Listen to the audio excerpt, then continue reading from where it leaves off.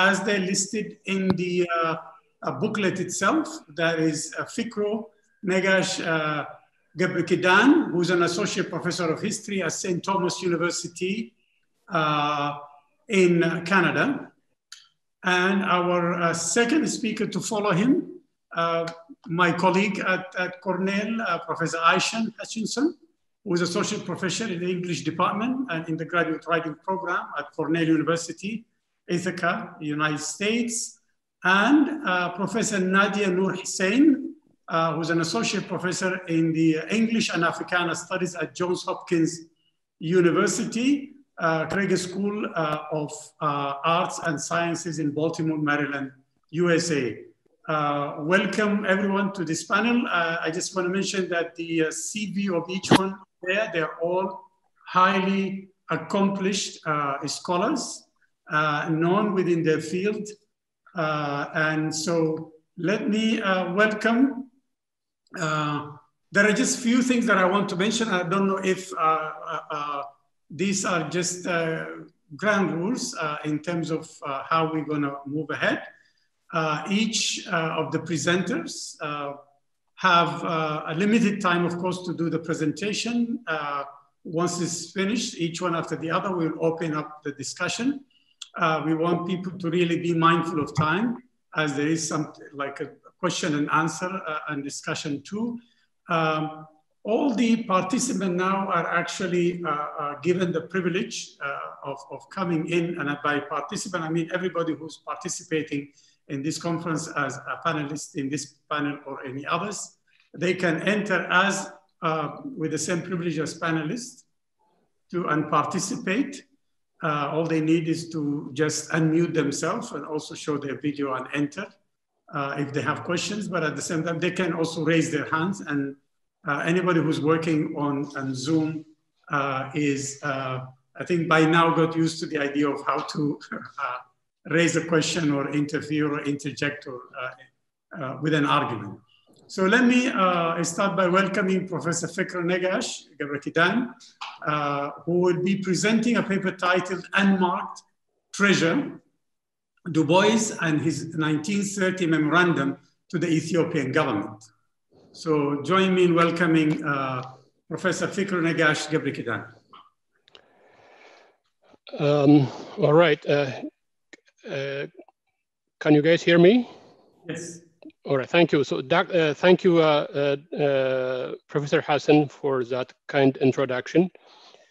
Uh, and uh, thank you to all conference organizers, including, well, especially Dr. Um, Elsabet Wolde for the invitation.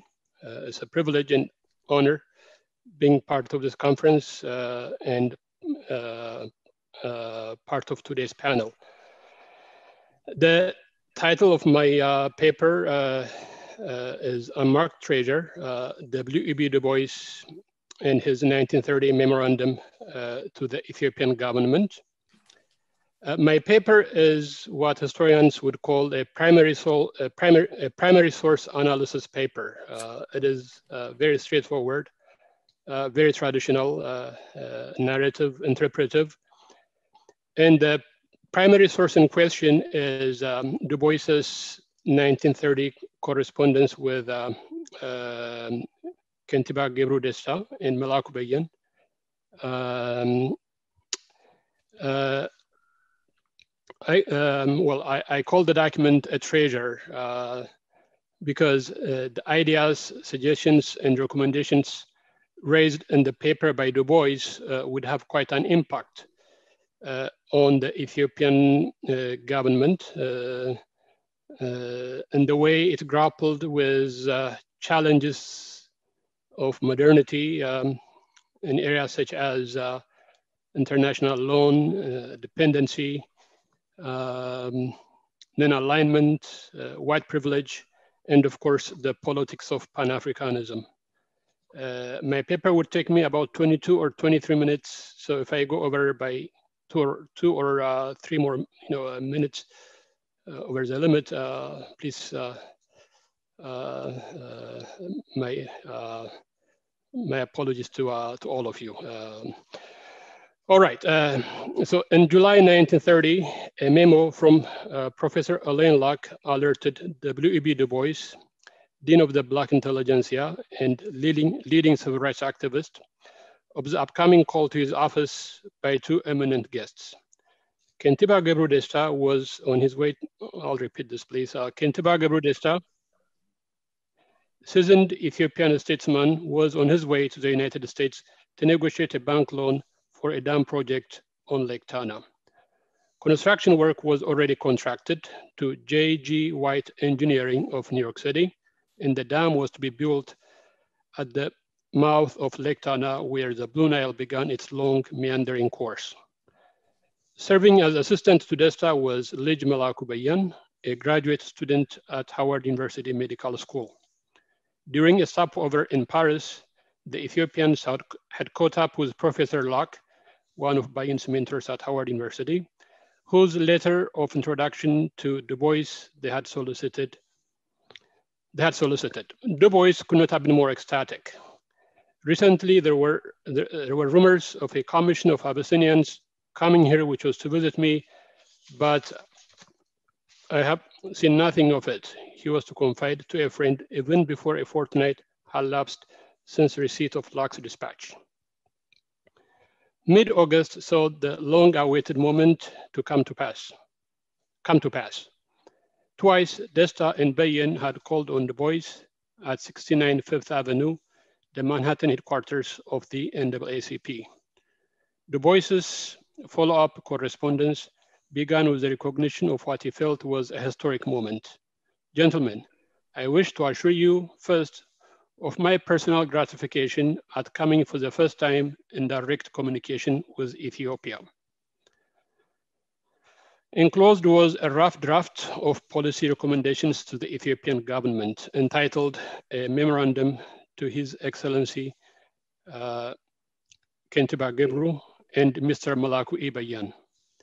The nine-page document opened with highlights of African American achievements, uh, rich tradition of, uh, of resistance, ongoing struggle for civil rights, contributions to art and literature, and vibrant institutions of higher learning and economic life. Summaries of the 1919, 1921, 1924, and 1926 Pan-African Congresses followed,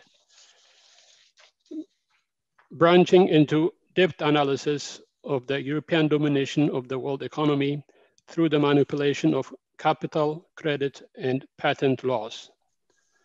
Regarding international pol politics, tips on tactical alliances were offered, such as the need for the anti-colonial forces in Africa and Asia to close ranks with the anti-imperial powers of Germany and the Soviet Union. Then the discussion shifted to bread and butter issues. Ethiopia needed to embrace the gold standard for the sake of a stable currency, the memorandum advised. Along with that, the government had to modernize the national economy, such as by keeping records of income and expenditure, as well as by uh, creating a national banking and credit system.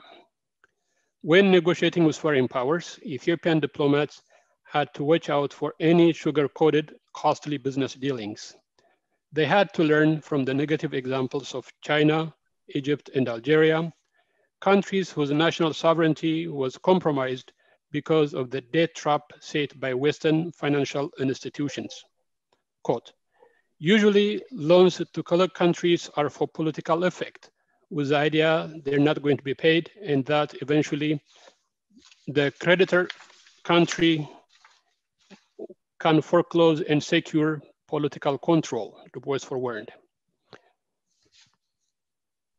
Such loans are, of course, highly dangerous, and I hope Ethiopia will not consider them. A modernizing society needed to invest in an elite brain trust in its technocratic class. That was the position Du Bois had consistently promoted in response to Booker T. Washington's gospel of low-level vocational training in Black higher education. In the Ethiopian context, this translated into an all-out modernization scheme through the transfer of industrial technology. Until Ethiopian institutions could roll out their version of the talented 10th, uh, they could draw on the untapped reservoir of diaspora resources. The benefit was mutual, according to Du Bois. Like Japan after the Meiji Restoration, Ethiopia would enter into a steady course of rapid industrialization, and for a surplus of African American college graduates and artisans, such overseas projects would provide gainful employment and unique life experience. Quote, Ethiopia should immediately seek to attract to her borders a set of young colored engineers trained in modern industrial technique. Du Bois prescribed. She should have aviators to develop airways all over the country. She should have metallurgists, iron and steel makers, chemists, physicists, and electricians trained in every branch of modern technique. Here, it is worth pointing out that Du Bois's vision of mutual self-uplift differed markedly from Marcus Garvey's ideology of racial nationalism. While Du Bois understood that African modernity did not have to reinvent the wheel, he understood a great racial disparity in fields such as finance, manufacturing, and international law. In that case, the Ethiopian government stood much to gain not only from the mobilization of overseas race patriots, but also from the active recruitment of world-class white professionals. Less the familiar history of colonial racism entrenched itself in the process, Du Bois suggested practical checks and balances. First, Euro-American candidates could be carefully screened so that only those with progressive racial views were hired. And second, actual decision-making responsibilities could be shared between such white appointees and their Ethiopian or African-American deputies. Some of the above pronouncements, such as the need to tap I'm sorry, I'm getting some disruptive emails. Uh, I'm sorry, my apologies. Uh, uh, all right, um, some of the above pronouncements, such as the need to tap into diaspora labor pool, uh, were popular ideas that Ethiopian officials such as Hakim Workneh Eshete, uh, aka Dr. Charles Martin, had entertained since the mid-1920s.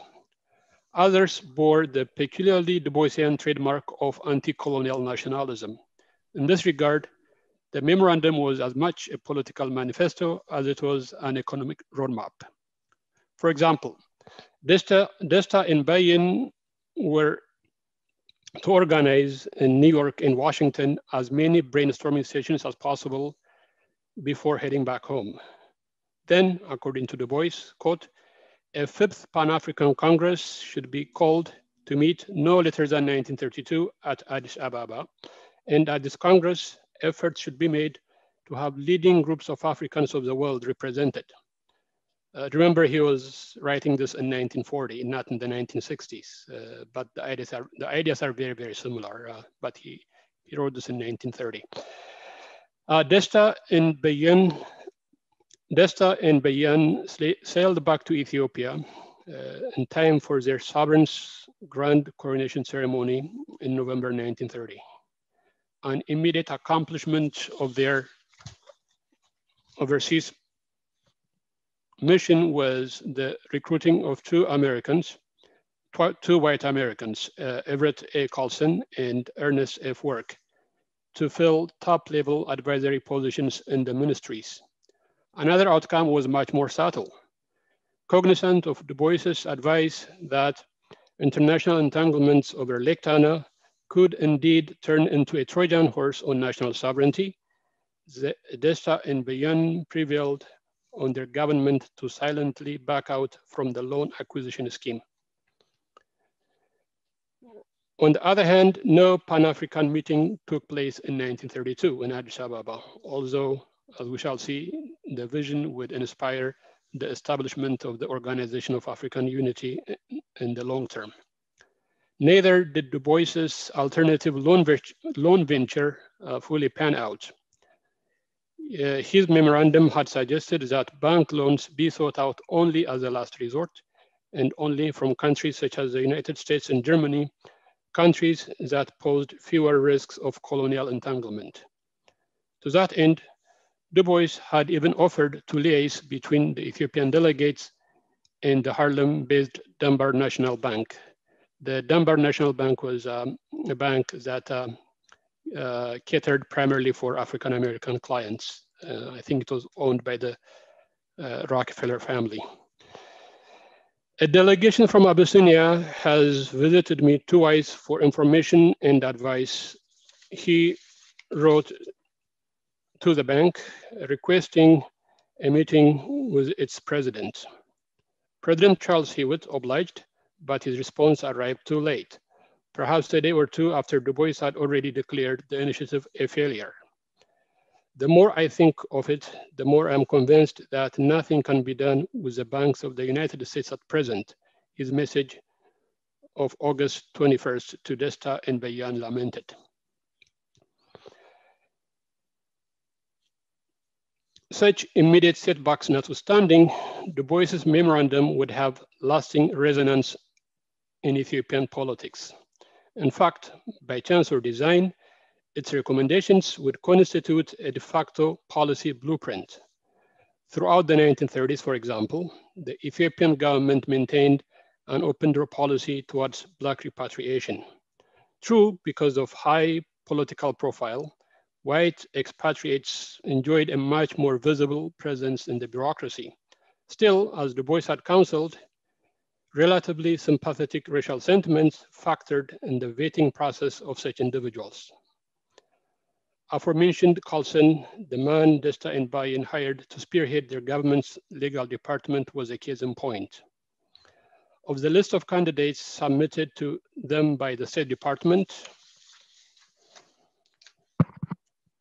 excuse me, um, Desta and Beyan settled on the seasoned public accountant from the state of Maine, distinguished by many years of service to the Caribbean nation of Haiti. Until his death in 1937, Colson would remain Haile Selassie's most trusted advisor, perhaps even the most influential foreigner since the Swiss-born Alfred Ilg, Emperor Menelik's famous confidant. So here I'm using um, Colson as, as, an example uh, where uh, Desta and Bayan uh, um, uh, used the criteria you know, provided to them by Du Bois to uh, uh, handpick uh,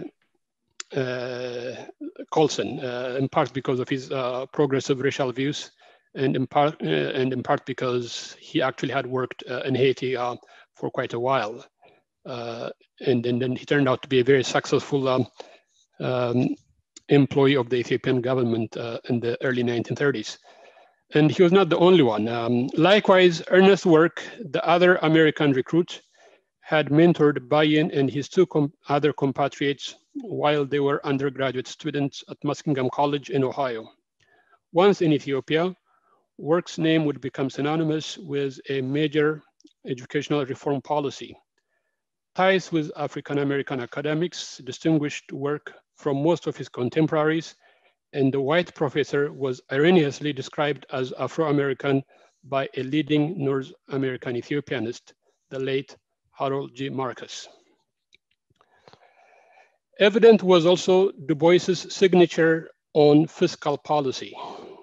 As might be remembered, the 1930 memorandum had suggested the establishment of a national bank as one of the imperatives of a modern economy. In 1931, Haile Selassie liquidated the foreign-owned Bank of Abyssinia, considered a factor in the country's worsening financial woes, including the unfavorable balance of trade because of a weakened Maria Theresa thaler. That is a, that was the Ethiopian currency uh, for those who don't know what the Maria Theresa was. Um, in its place was established the government-owned National Bank of Ethiopia, uh, much of the initial capital having been raised uh, by the emperor himself. Likewise, loan negotiations for the dam construction discreetly ceased, a cautionary measure against potential entanglement with the predatory multinationals. Imperial Ethiopia would continue as a poor but relatively debt-free country into the, uh, into the 1960s, sorry, into uh, the post-war decades. And in 1960, Du Bois would feel vindicated by his own wisdom of some 30 years prior. I have read with great interest in the New York Times the report of your speech at the meeting of independent African nations, his missive to Haile Selassie read. I write to thank you for the speech and especially for its warning to Africa not to become dependent upon loans from Europe and America. And, America. and of course, he wrote that uh, uh, in 1960, 30 years after the memorandum that uh, uh I'm talking about here uh, in my paper. Um, in the diplomatic arena too, worth mentioning was Du Bois's advice for the need for making common cause with the secondary powers in Europe and Asia as a deterrence to global imperialism. In 1931, Ethiopian Foreign Minister Heruy Haile Selassie visited Japan, an event that did not pass unnoticed in, the, unnoticed in the influential papers of Europe and North America. Relationships with Germany remained stable, not only in the days of the Weimar Republic, but also through the early years of the Third Reich. This de facto policy of non-alignment would continue into the Cold War decades, during which Haile Selassie commanded as many fans behind the Iron Curtain as he did in the Western capitals. Finally, the memorandum represented a unique chapter in transoceanic race relations.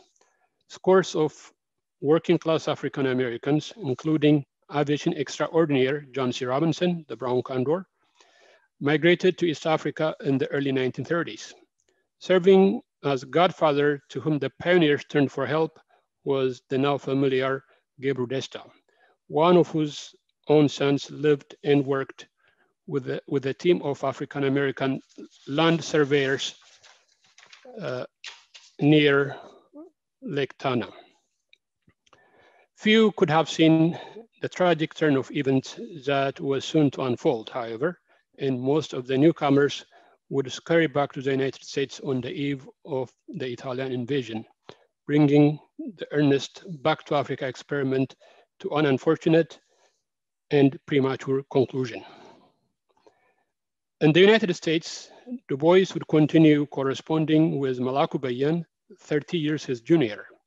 Bayan, who only a year later broke his engagement to the daughter of a government minister to marry, uh, in order to marry an African-American schoolmate, Dorothy Hadley of Evanston, Illinois, would prove to be a uniquely gifted Pan-African interlocutor.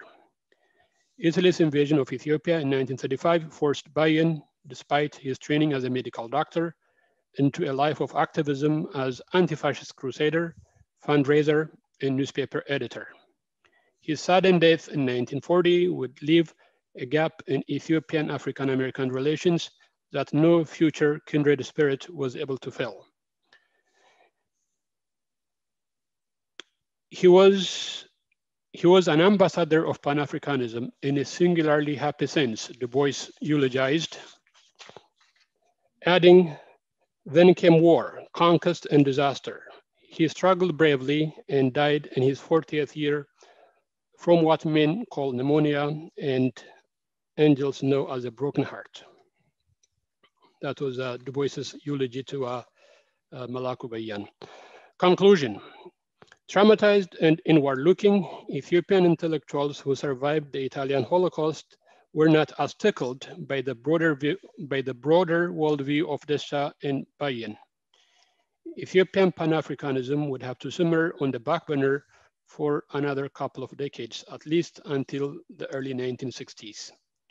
Post-war Du Bois, on the other hand, would play an active role in campaigning for Eritrea's return to Ethiopia through newspaper columns and public lectures. It was a conviction he had expressed in the 1930 memorandum. It should, of course, be a fixed object of Ethiopian diplomacy to obtain an ocean port the use of free port like Massawa or Djibouti, but eventually a port that Ethiopia absolutely owns, he had argued.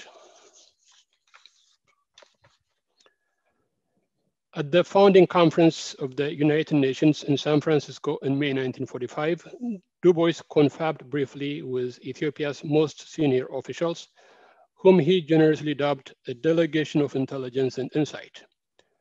Another encounter followed three years later at the Ethiopian legation in Washington, DC, and during which the retiring NAACP leader expressed his hope for a Pan-African gathering on independent African soil. Du Bois's last wish would become real 15 years later, and no less during a critical juncture in African political history. At the wee hours of May 25, 1963, the All Africa Summit in Ethiopia concluded with the signing of the founding charter of the OAU, of the Organization of African Unity, a feat few had then thought was possible. Du Bois was too frail to leave his newly found abode in Accra, Ghana, but his wife was in Addis Ababa, witnessing in person the historic occasion. Shirley Graham Du Bois, who flew in with the Kenyan government delegation, considered the creation of the OAU uh, as a major milestone, describing it in superlatives as probably the most important gathering so far in the century. She was not wrong.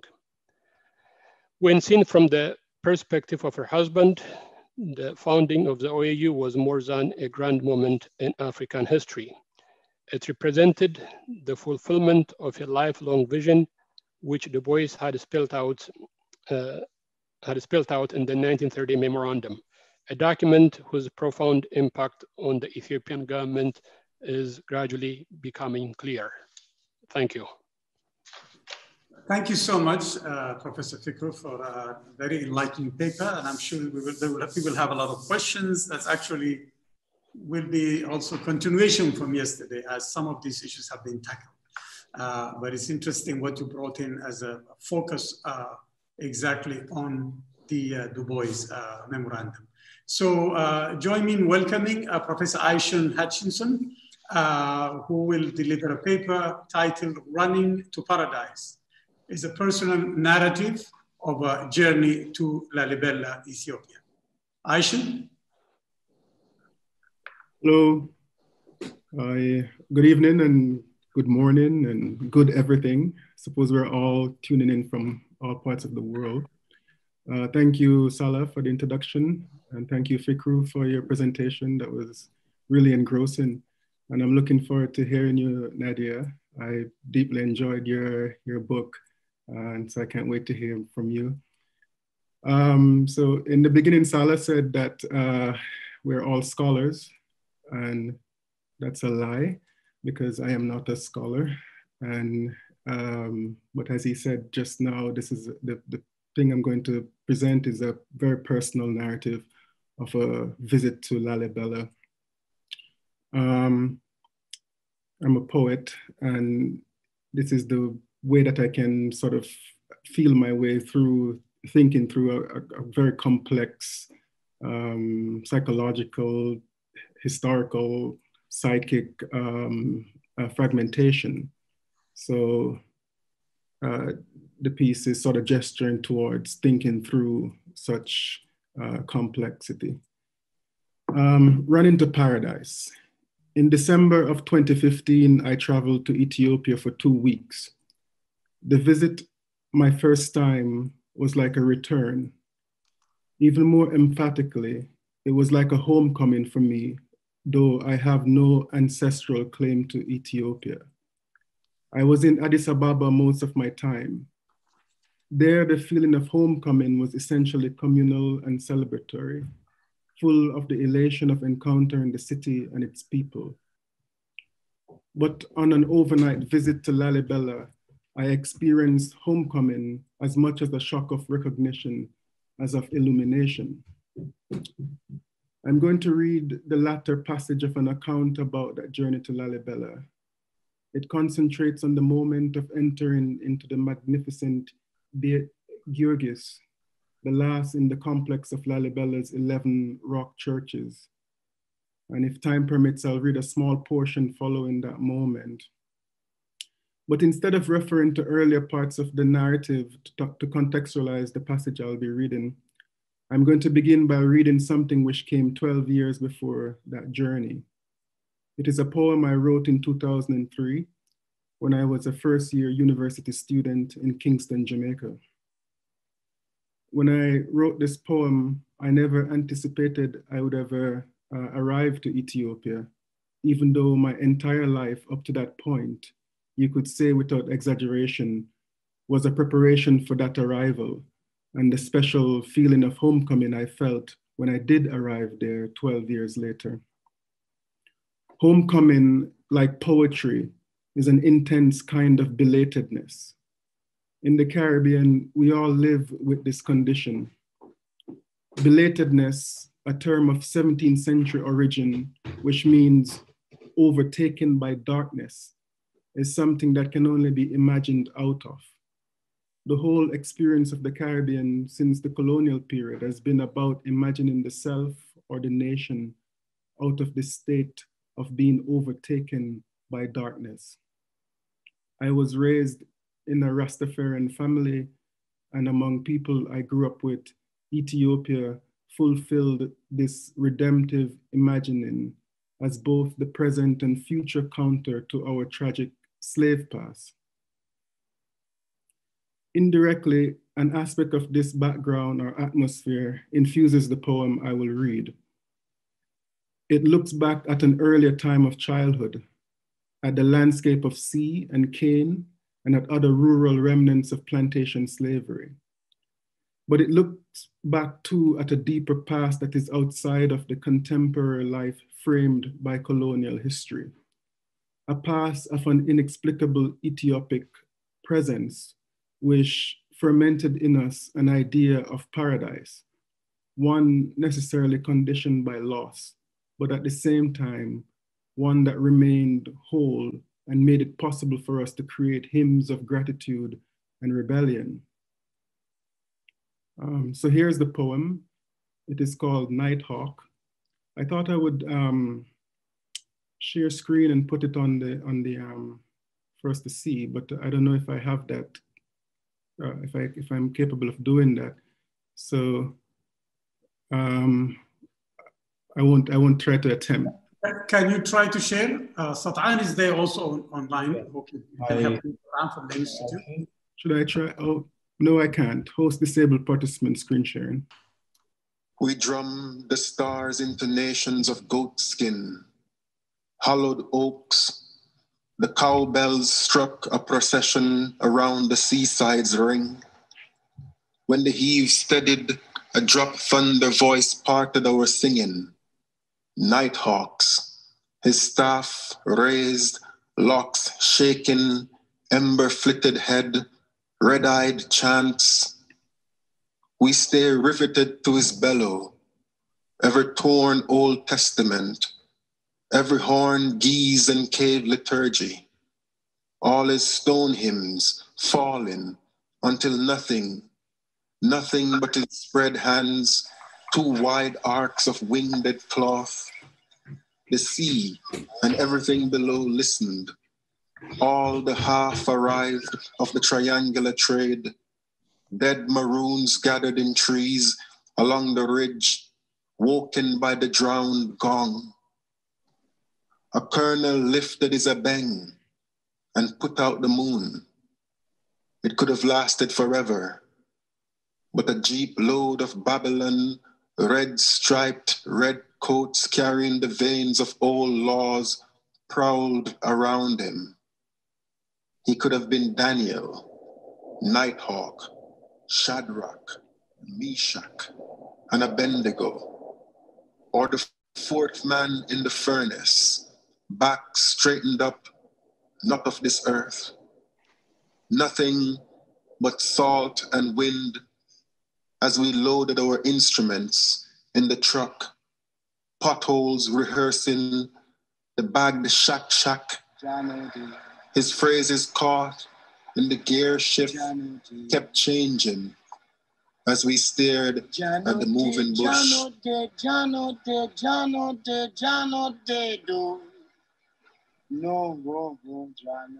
Now to that passage from the essay.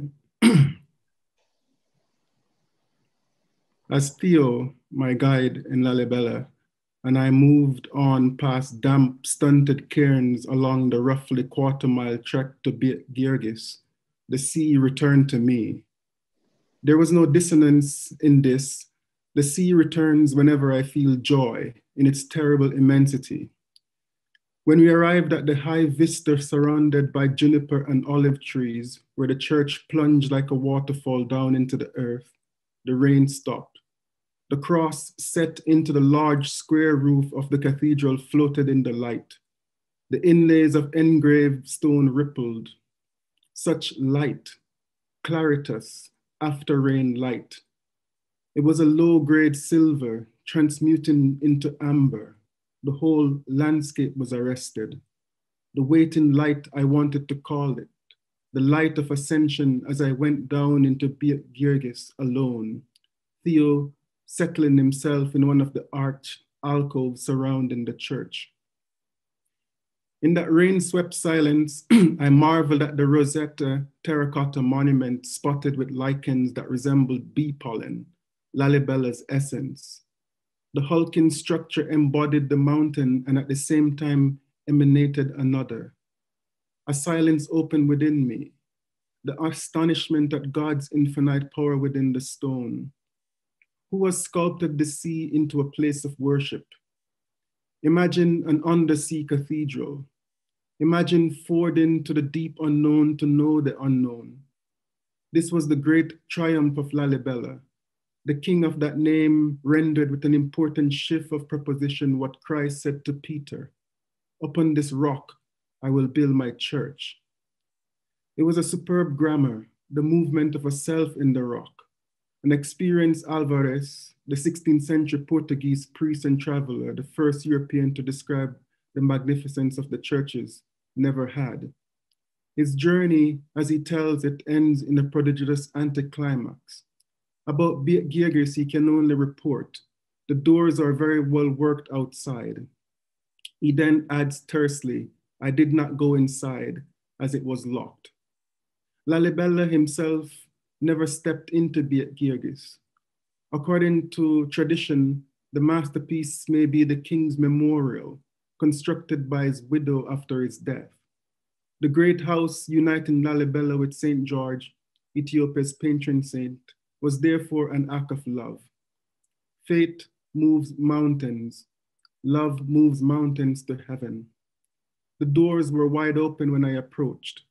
No one else was in sight, or not quite no one. 500 years ago, a pilgrim to Lalibela from Armenia decided he would not return home. He was still there, grayish coral bones and all, preserved in one of the inset walls of the church, his feet pointing towards the doors. The waiting light was there as I climbed a few steps to the doorway. I crossed the threshold into an ancient silence. The interior was mistier, darker than the other churches. Even so, I recognized immediately the aesthetic convention, the mixing of the simple and the elaborate finding a sublime pitch. The intensity of impression here was strongest and strangest.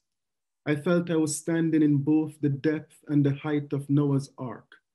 I was afloat. The rock was standing water.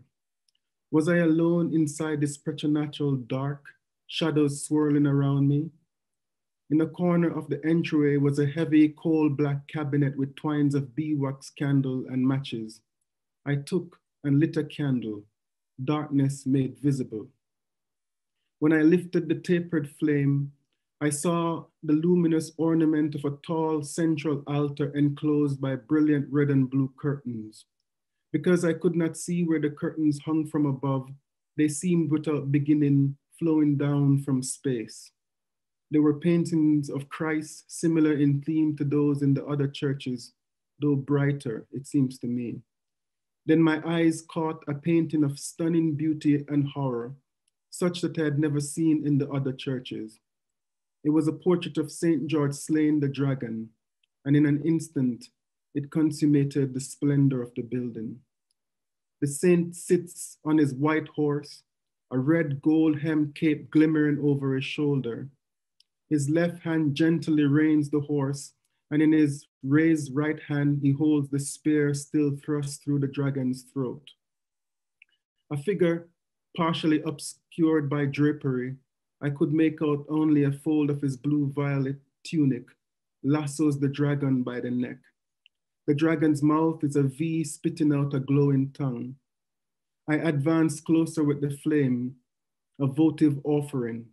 Something came alive, a priest lying down in a corner on the scarlet carpeted steps, rose up. The candle flame ringed his eyes and caught the golden cross he held in his hand. I looked to the painting, half expecting to see the horse without a rider or the mysterious tunic gone. Reflexively, I prostrated myself before the priest. He brought his cross down on my forehead with a subtle force and called my mind to another fire, the Nyabinghi nights on shore in Jamaica. I was a boy chanting, Ethiopia, Ethiopia, Ethiopia, to thunderous drums. I was a little child, and my memories of those times are now partly fable. Certain faces in the crowd remain clear. Nighthawks came clear to me now, his matted Leonel lent dreads dusted with sand, and his voice tremendous when he bellowed, Jah Rastafari. I was not too young to understand that we were sufferers who had found it possible to see the future. I somehow knew Nighthawk was crying psychic deliverance. Hours must have passed. It seemed centuries did in the pulse and the flash of the flame. The priest lay back down again, motionless and mythical. And I, anointed with tears that shone in the fire, continued on, but I could not bear to see anymore. Outside in the twilight air that was cool, fresh as if it were the first morning of creation. Theo was waiting. We headed back to my hotel about an hour's walk on foot. He allowed me to be with my thoughts. I sense he knew the priest had consecrated the welcome he himself had given me at the beginning of the journey. And for the rest of my visit, as if to honor that, Theo stayed mainly silent like a spirit by my side. The next morning, when he came unexpectedly to wish me farewell over coffee on the veranda of the hotel restaurant, he would again place his hand on my shoulder and said, This is your home. It was a binding together, a prayer. Returning through the half dark village, I saw derelict homes perched near the Macadam Road, the people shimmering by. I felt like the diver in a poem by Robert Hayden, who finds at the bottom of the sea a sunken ship full of human mementos, garments, instruments, shoes, and must now somehow begin the measured rise. The diver's disconsolate, disconsolate encounter is not mine. Yet the question of what happens to a man after surfacing from such a discovery is mine. In such a discovery, one has come close to what is irredeemable in the world above.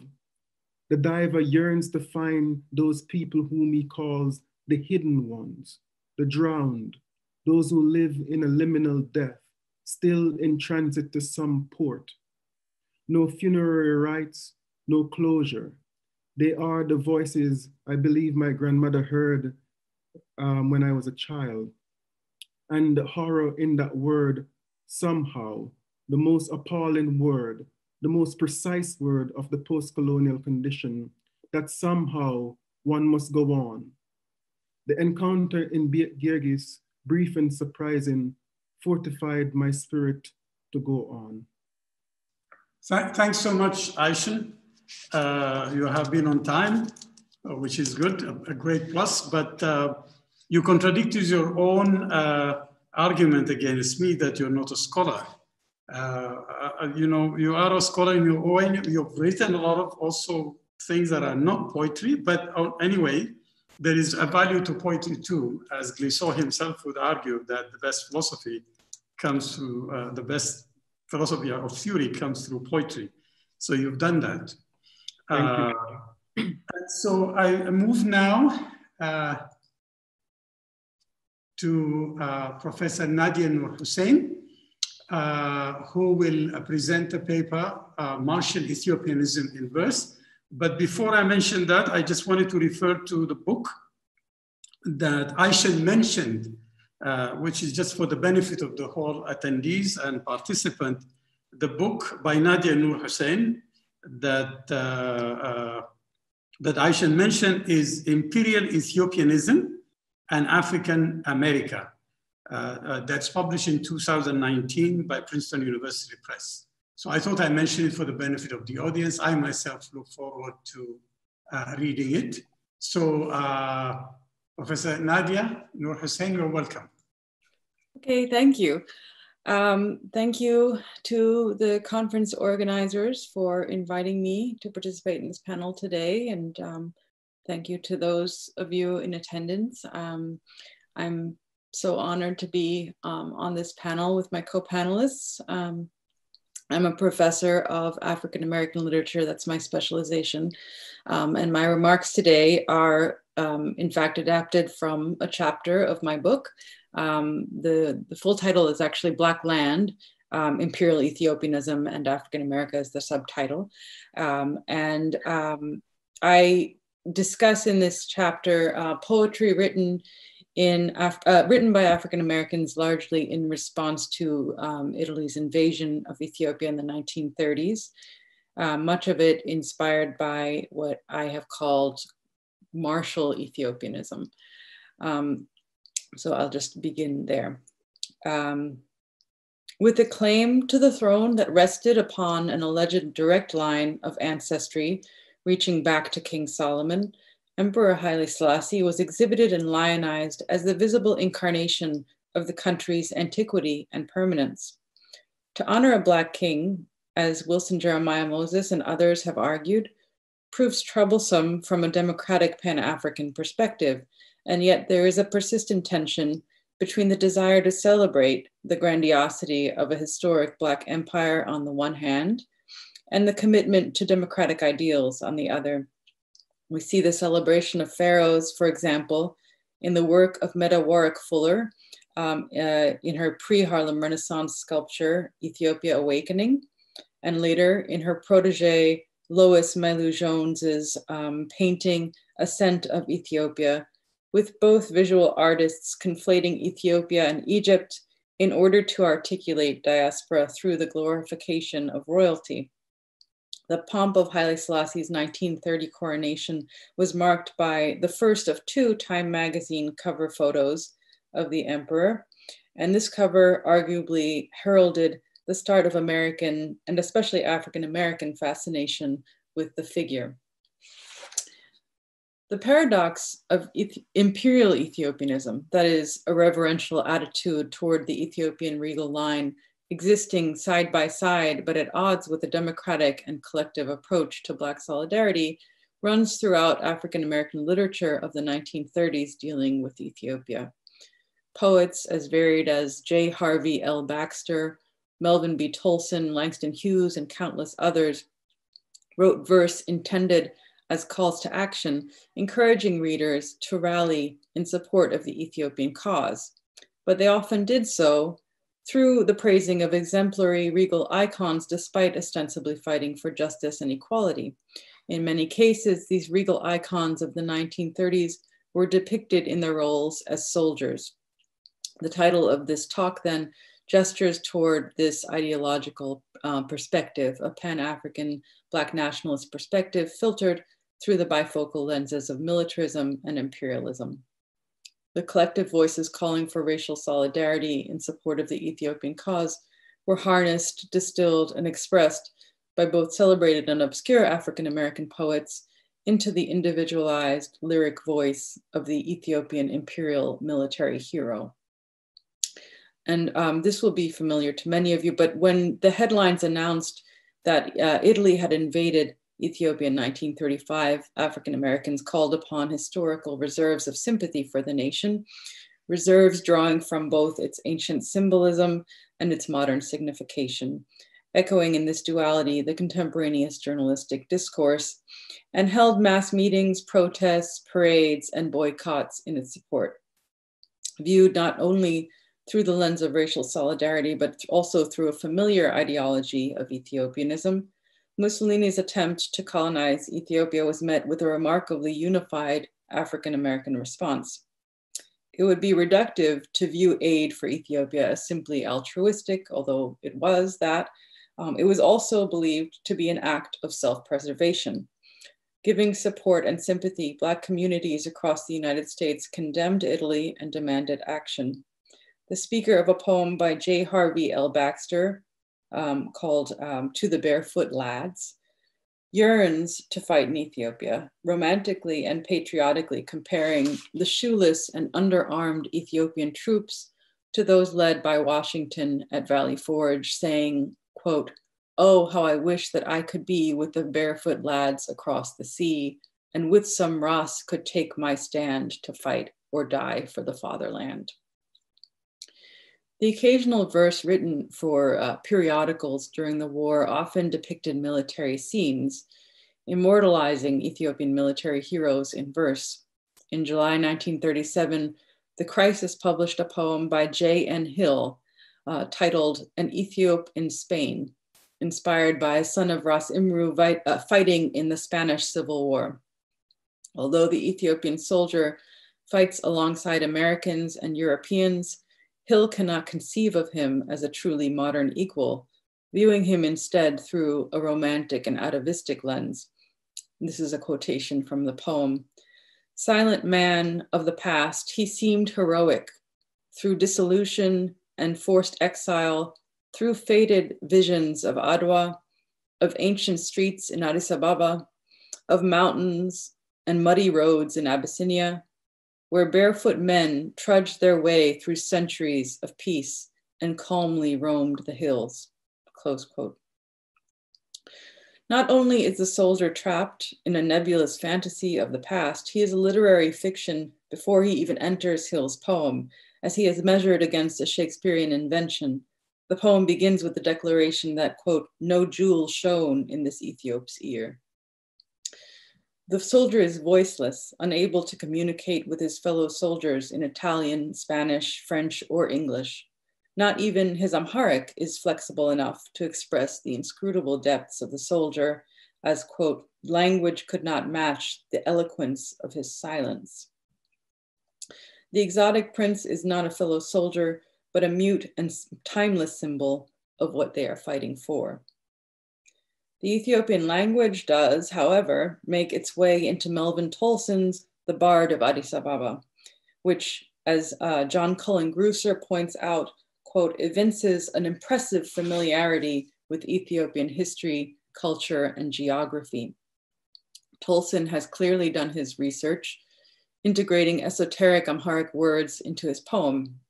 Discussion of Tolson's manipulations of modernist techniques and strategies particularly the use of scholarly apparatuses reminiscent of T.S. Eliot's foot endnotes to the wasteland, abound in scholarship about his work.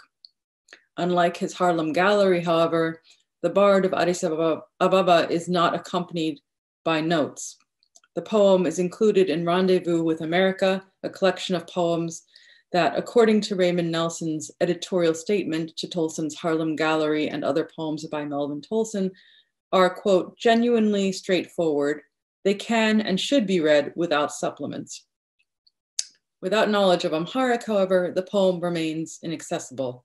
And in fact, I had to ask my father for um, help in translating some parts of the poem since I don't speak Amharic. Um, by integrating Amharic words and concepts into his poem, rather than, for instance, Greek or Latin, Tolson dignifies African systems of knowledge granting these references the same authority typically given to classical ones, and in the process obscures the poem for Eurocentric readers. In fact, in Tolson's poem, the Italian soldiers, effectively descended from a Latinate tradition, literally pale in comparison to the vitality of the African traditions embodied in the Bard of Addis Ababa. In contrast to the dull, pedestrian, quote, granite eyed Italians, the Ethiopian bard has eyes that are, quote, glowing like anthracite. And um, I'm going to quote quite a bit from Tolson's poem here. I hope it'll be clear which parts are, are quotations. Um, carrying with him the lore of 6,000 years, the bard's gravitas is rooted in his timelessness. If he seems immortal, he is also paradoxically eternally dead. Tolson introduces the bard as, quote, cadaverous. But the, lard, uh, but the bard's Lazarus-like quality is of course in keeping with uh, the Ethiopianist ideology that prophesies the re revitalization of a dormant Ethiopia. The poem, in fact, concludes with the Ethiopian soldier's call to those long slumbering descendants as the bard, accompanied by a dog, walks into the future, quote, a great dog and a gray beard ahead, O bard of Addis Ababa, cry the heroes to wake up the dead, close quote. The dog by the bard's side here is the very dog with which the poem opens, apparently stray and vicious, a foreboding omen of the fight between Italy and Ethiopia. Quote, his growl presaging a menace like a foghorn in a fog, close quote. Along with the hyena and a boa, the dog, quote, rips the jackal with scimitar, tooth, and claw, since the jackal is a symbol of Italy and Mussolini, used again later in the poem, the dog comes to represent not just the general harbinger of war, but Ethiopia's role in the war specifically. The destruction of the jackal is Tolson's prophecy that Ethiopia will ultimately triumph over Italy. Not only does the bard's, quote, chant of men fleshed in epic, um, close quote, but he holds a unifying and tremendous power in every community through which he travels. A quote, hero of Grazmach and vendor of Hakim and beggar and wag, uh, Grazmach uh, being significantly a military designation. Although he is primarily a quote, blooded Amharic scholar, he is literally an acknowledged legislator whose name is the emblem of justice Outdoor courts invoke him to sentence man or beast, and debtors chained to their masters appeal to the bard for release. In affording this level of authority to another poet, Tolson imagines an active role for the poet in the world, as one, for example, who would and could influence the carrying out of justice by inspiring a change of course in the Italo Ethiopian War, just as Baxter hoped to accomplish. Lorenzo Thomas, in fact, claims that the bard's influence as both the bearer, this is a quote from Lorenzo Thomas, as quote, uh, both the bearer of tradition and the people's inspiration is a role that Tolson coveted for himself, close quote. Faced with the injustice of the uh, Italian occupation, the bard embodies a populist heroism as he, quote, chants of the freedoms that keep men free, he serves as a human repository of patriotic and democratic national history and a warrior, besides, complete with dagger, wandering under his forefather's flag as if he is marching under a pennant. As a versifier, he can inspire others to action, particularly military action, through the battle cry of his ballads. The, this is a quotation the battle cry of his ballads, the meters, blood spurring pace the star reach of his spearing finger. He and his military mission even appear to be sanctioned by God uh, with a halo like diadem of light. This is a, a longer quotation from the poem. Princes and bishops and scholars, pyramid to left and right, of the conquering lion of Judah and the diadem of light, and the red and gold pavilion glitters with vassal and knight. The bard appears to have merged with the emperor here. Just as the Ethiopian royal family claimed a line of descent that linked them to a Solomonic dynasty, the bard's fight appears to fulfill biblical destiny. He mobilizes the Ethiopian peoples by pointing them toward their religiously determined fate.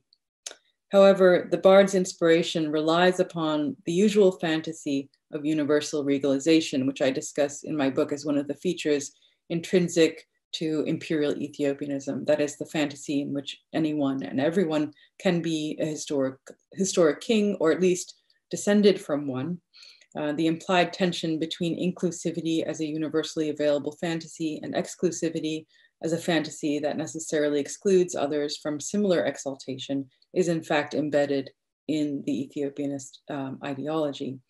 In the Bard's Chant, which constitutes um, section two of the poem, he suggests that with the uh, Ethiopian warriors' defeat of the Italians, quote, Aras, a Dejasmach, a king, Yoho, each father's son shall be, close quote. Crowns are in fact everywhere in this poem. Um, the quote, Palaver house shall crown the kith and kin of man.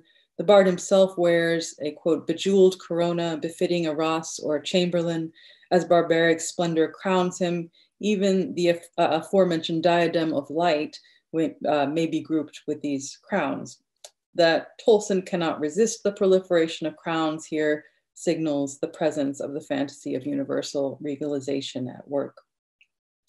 The appeal of imperial Ethiopianism extended even to those critical of the emperor, such as Marcus Garvey, whose growing disdain for Selassie's imperiousness was compounded by a personal slight. He was snubbed when he attempted to meet with Selassie in England.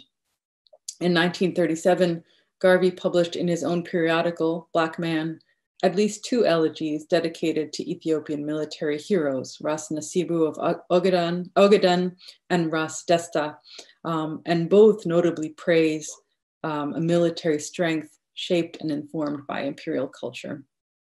For the thoroughly imperial Garvey, the crucial difference between Selassie on the one hand and Nasibu and uh, Desta on the other lies in the latter's military sacrifice, rendering them exemplars of not just imperial Ethiopianism, but martial Ethiopianism. The nature of, the Garvey, of Garvey's veneration um, of Nasibu as a military hero of the Ethiopian resistance is unmistakably monarchic. He begins uh, Ras Nasibu with the line, a king has fallen on the field. While he criticizes Selassie for fleeing to England, for being, as he puts it, quote, a great coward who ran away from his country to save his skin and left the millions of his countrymen to struggle through a terrible war, Garvey instead pities Nasibu for his, quote, awful lot of dying in exile. Unlike Selassie, Nasibu is a king who lost his part in building glory with his bricks. Although he refers to Nasibu as a king twice, um, he also implies that he is a model of collective participation, thwarted or snuffed out, who wanted ardently and democratically to do his part. In fact, Garvey reinforces the word part by rhyming it with itself in the poem. Uh, Nasibu was not just defending an existing, existing nation, but building one. So rather than abandoning his nation and willfully separating himself from his people, Nasibu, in Garvey's eyes, suffers from a longing common to conceptions of diaspora, the desire for return. In fact, Garvey's claim that a king has fallen on the field despite his acknowledgement three lines later that he did not. He died in exile. As Brent Hayes Edwards reminds us, the term diaspora looks to the future as well as the past and contains within it, quote, a dialectical tension between dispersal and return, loss and restoration. Uh, the anticipatory restoration is expressed in Garvey's poem as not just an Ethiopian one, but a Pan African one. After mourning the loss of Nasibu, Garvey writes, quote, the Negroes of the world shall wait to take their stand against the foe. And when they fight to win their state, they'll make the Italians drink their woe. The weight of the Ethiopian tradition in, Af in African American literature, uh, sorry, African American letters, as Wilson Moses calls it, bore down upon the inevitably shaped modern lyric representations um, bore down upon and inevitably shaped modern lyric representations of the nation, uh, infusing those representations with a romanticism that made criticism of the monarchy unwelcome and difficult. In fact, because Ethiopianism historically drew its power from the dignity and grandeur offered by the idea of an ancient Black empire. So, in fact, because Ethiopianism historically drew its power um, from the dignity and grandeur offered by the idea of an ancient Black empire, anti monarchical views could be seen as undermining the essence of the Ethiopianist perspective upon which the poetry about the war depended. Although criticism of Selassie increased during World War II, particularly during his exile in England, his iconic signification still, uh, still bolsters Ethiopianist ide ideologies today. Uh, the celebration of Ethiopian imperial culture, particularly through the figure of martial Ethiopianism, remained a powerful propagandistic tool throughout the um, Italo-Ethiopian War. Because the dramatic events taking place in Ethiopia in the 1930s were filtered for many African Americans through the country's long and profound symbolism, Ethiopia was uh, simultaneously a topical and deep rooted subject for Harlem Renaissance poetry. These poems often constituted calls for action, particularly military action, entreating the diaspora to summon a consanguineous uh, sympathy and come to the aid of what was both an ancestral home and the seat of a, an historic uh, Black empire. Ethiopia was not uh, any longer, as Gibbon dismissively called it, forgotten and sleeping, and African America dedicated verse to the nation as it fought for its sovereignty on the world stage. Thank you. Thank you so much, uh, Professor Nadia, for also a great uh, presentation through poetry this time. And I think if I look at the whole session, I find it uh, really complementary to each other and also form an extension of some of the debates that we have uh, in the opening session and, at, and in the keynote speech too. Uh, I think I'm glad that this is now carried in more uh, depth in the three presentations. If I may just sum up, and perhaps in the context of my summaries of the, of the, of the major points, I may raise a question or two, and hopefully that will begin our debate. I wouldn't take that much time. Uh, looking at uh, uh, uh Professor Fikru uh, Gebrekidan's paper, it gave us actually an in-depth look at the memorandum, that rare document, uh, what you call it, unmarked treasure, given by Du Bois to the uh, delegation of, of Ethiopians. Uh, it gave us a, a kind of a, an amazing uh, uh, look at, at how Du Bois was thinking, but it's also how African Americans at the time thinking about, uh, uh, you know, Ethiopia specifically. it's a continuation, of course, of, of, of, looking at it from an idealist perspective, but it's also motivated by what we now know as racial solidarity. But in the case of Du Bois specifically, I mean, I think his, his, his own intellectual, uh, uh, uh, you could see his early, for example, perhaps more, more, what became later on a more Marxist leaning. Uh, he was focusing on development and a critique, an early critique of dependency, which is, of course, in the mid to, uh, with the decolonization becomes a very important question that you see later on in Fanon and others, the idea of, of, of how one could, you know, uh, uh, you know, avoid the pitfalls of development and dependency on the West that end up in what we know now as the crisis of the post-colonial state. there are two thoughts that I have in this, and I don't know if Fikru could reflect on them. One of them is when at that time, of course, when uh, I think by that time probably Booker T. Washington, his nemesis, uh, must have passed away but it, uh, the debate towards Africa or the debate towards the African American, the, the, black subject, both of them saw it in a different way. Uh, although they're more, they are both advocates for civil rights and, and often um, Booker T. Washington, by perspective of today, or even Du Bois was criti criticized more because he really advocated uh, some limited development that, that, uh, that's considered really uh, um, most likely appeasing to, to the white uh, dominant, uh, you know, you know, a power at the time that is focusing on vocational education and self-dependency and uplifting, but in a way that is does not enter into what Du Bois think of as in his book, The Talented Tens, where um, he was really talking about intellect, about contribution to humanities, letters, and so forth as one way of really uplifting uh, the race. I mean, of course, he's not underestimating education, but his view of it is really to think about African Americans and the Black subject as full subject, full citizen, and, and calling for that. I wonder if you have any reflection on, on thinking uh, just historically uh, uh in the present, as one would say, about these earlier two perspectives, uh, considering what we now know in terms of uh, what is happening with the post-colonial state in Africa. Uh, it's interesting how it's almost like a deja vu that the last one was his critique of the dam that's built on Lake Tana. Now, I mean, the hottest debate uh, in the continent is the whole issue of the Nile Valley uh, in, along this, this, the countries, Sudan, Ethiopia, and Egypt. That whole thing about the new Renaissance dam, given a new name, but of course, it is uh, uh, probably motivated by the same in terms of generating electricity, uh, irrigation, and all of those. I don't know if you have any reflection on those. Ishion presentation in a very poetic way, whether it is as prose or poetry that he used to punctuate his presentation, of course, in and of itself is a, piece of art and a, uh, and a great performance, uh, add more complex uh, to what it came to be known as the narratives of return. Uh, for him, he added Ethiopia, um, and while when we think about these narratives of return by diasporic uh, uh, intellectuals, we find the most two examples, and I'm sure there are many one could think of, even from Richard Wright to many people who really spoke about Africa or wrote letters to Nkrumah and others. But there's Saidiya Hartman, Lose Your Mother, A Journey uh, Along the Atlantic Slave Routes. And then Maya Angelou's uh, works, uh, that is All God's Children Need Traveling Shoes and The Heart of a Woman.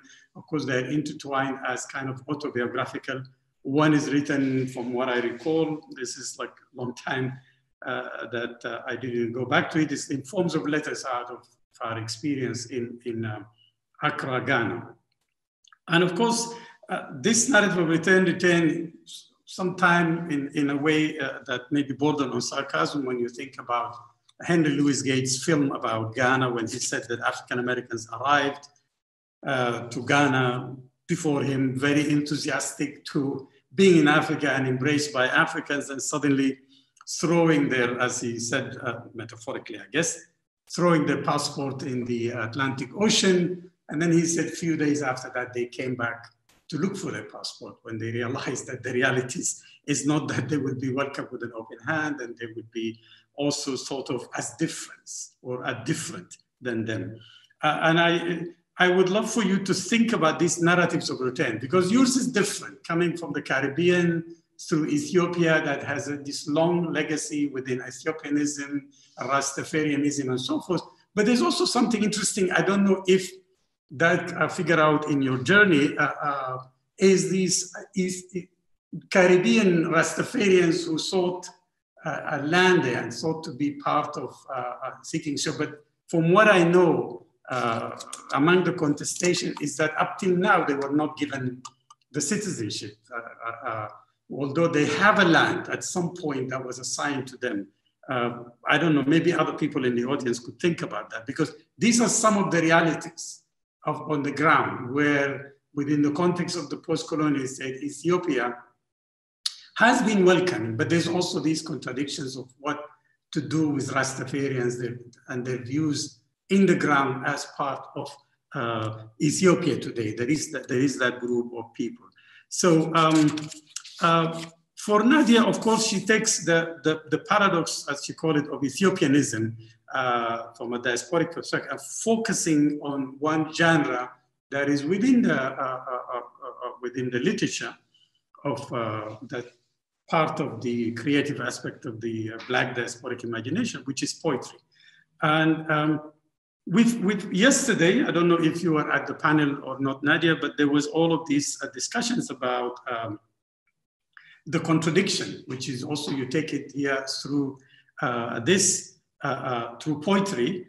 Uh, that is, in one way, there is this idealization of Ethiopia, uh, and it is, you know, the, the, the, whole genealogy of, of, of the ruling class, of the ruling elites during the Haile Selassie's uh, time and, and, before that.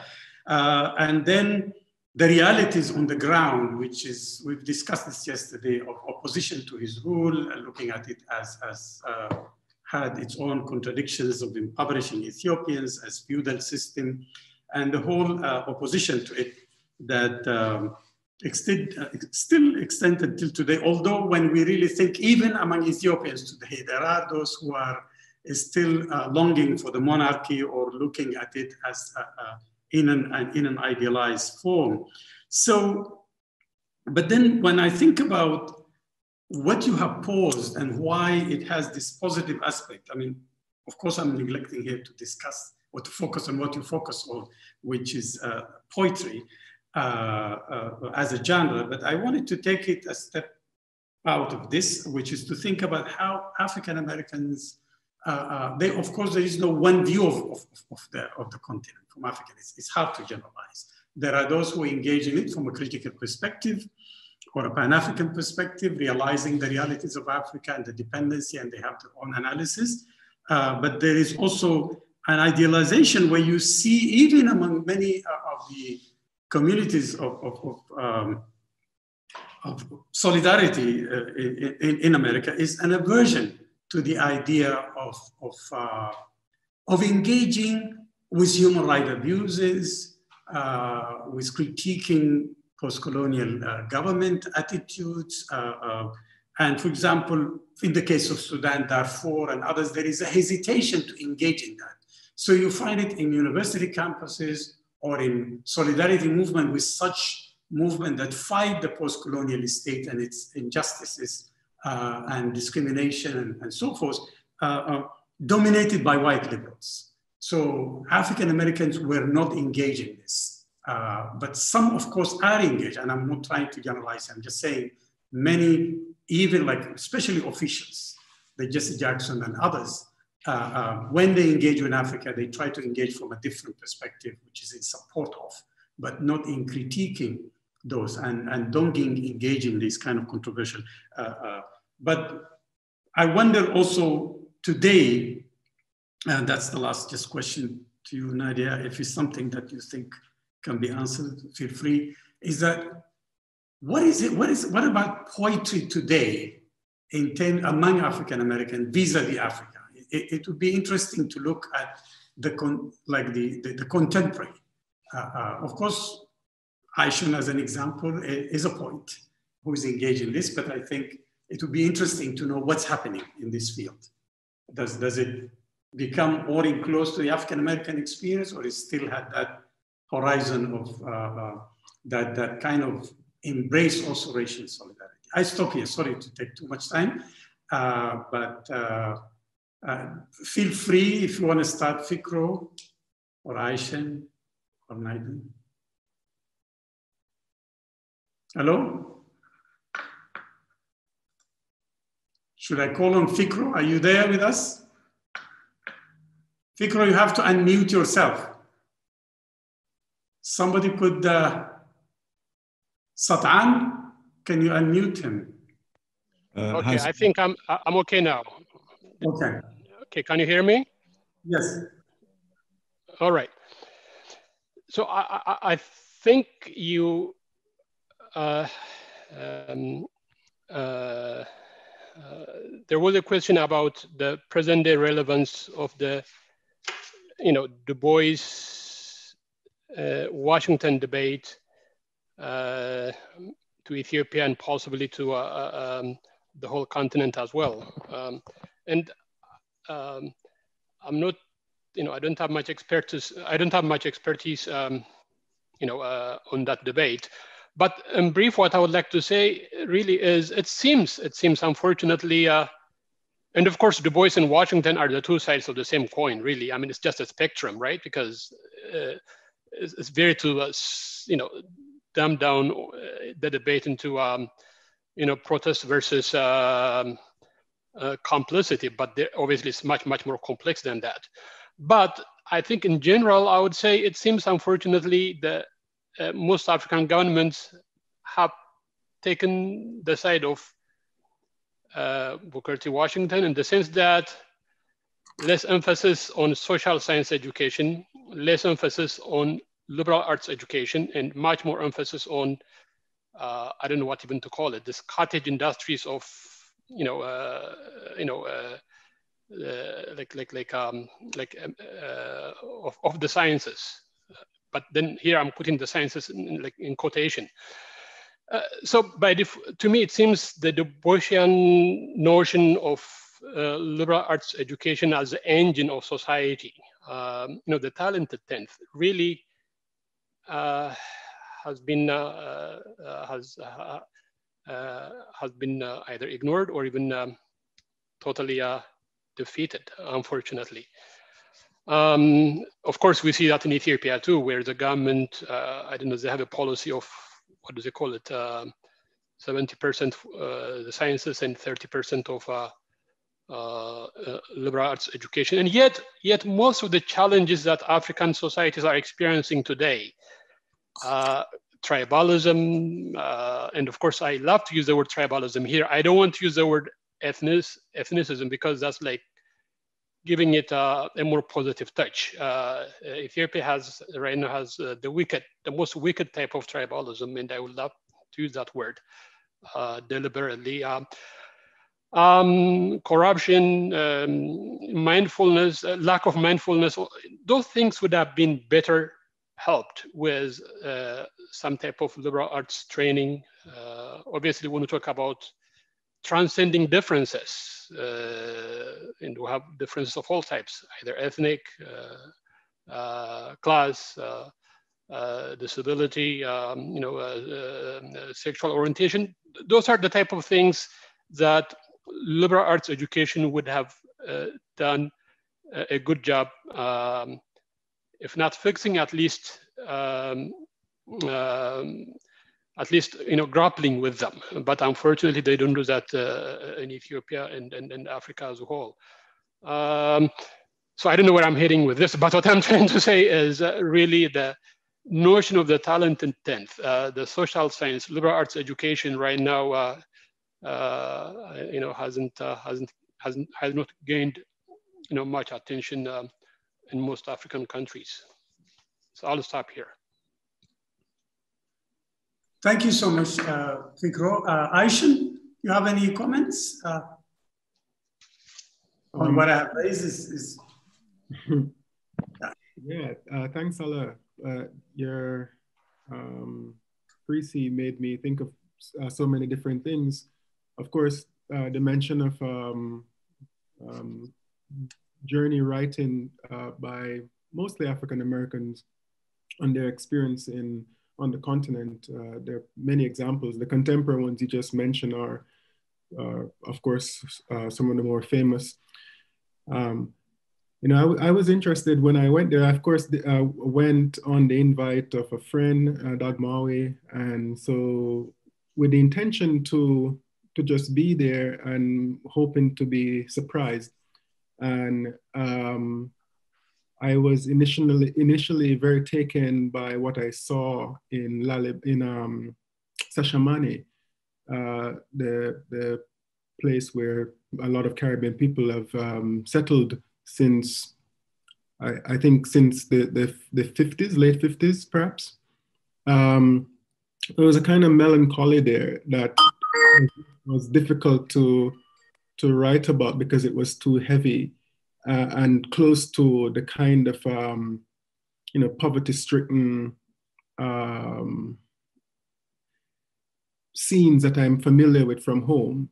So it it touched a, a kind of a wound for me, and I and that you know to think that people journeyed here to this space and uh, um, with an hope to for a better life whatever kind of idealized a better life that might have been and and you know and didn't find that. Um, in in Lalibela the the kind of way that that space sort of fit more the version of what I heard as a child growing up uh, as to what uh, people desired to find whenever they returned to or get to Ethiopia was um, more surprising for me and um, felt as if uh, that something that I wanted to engage.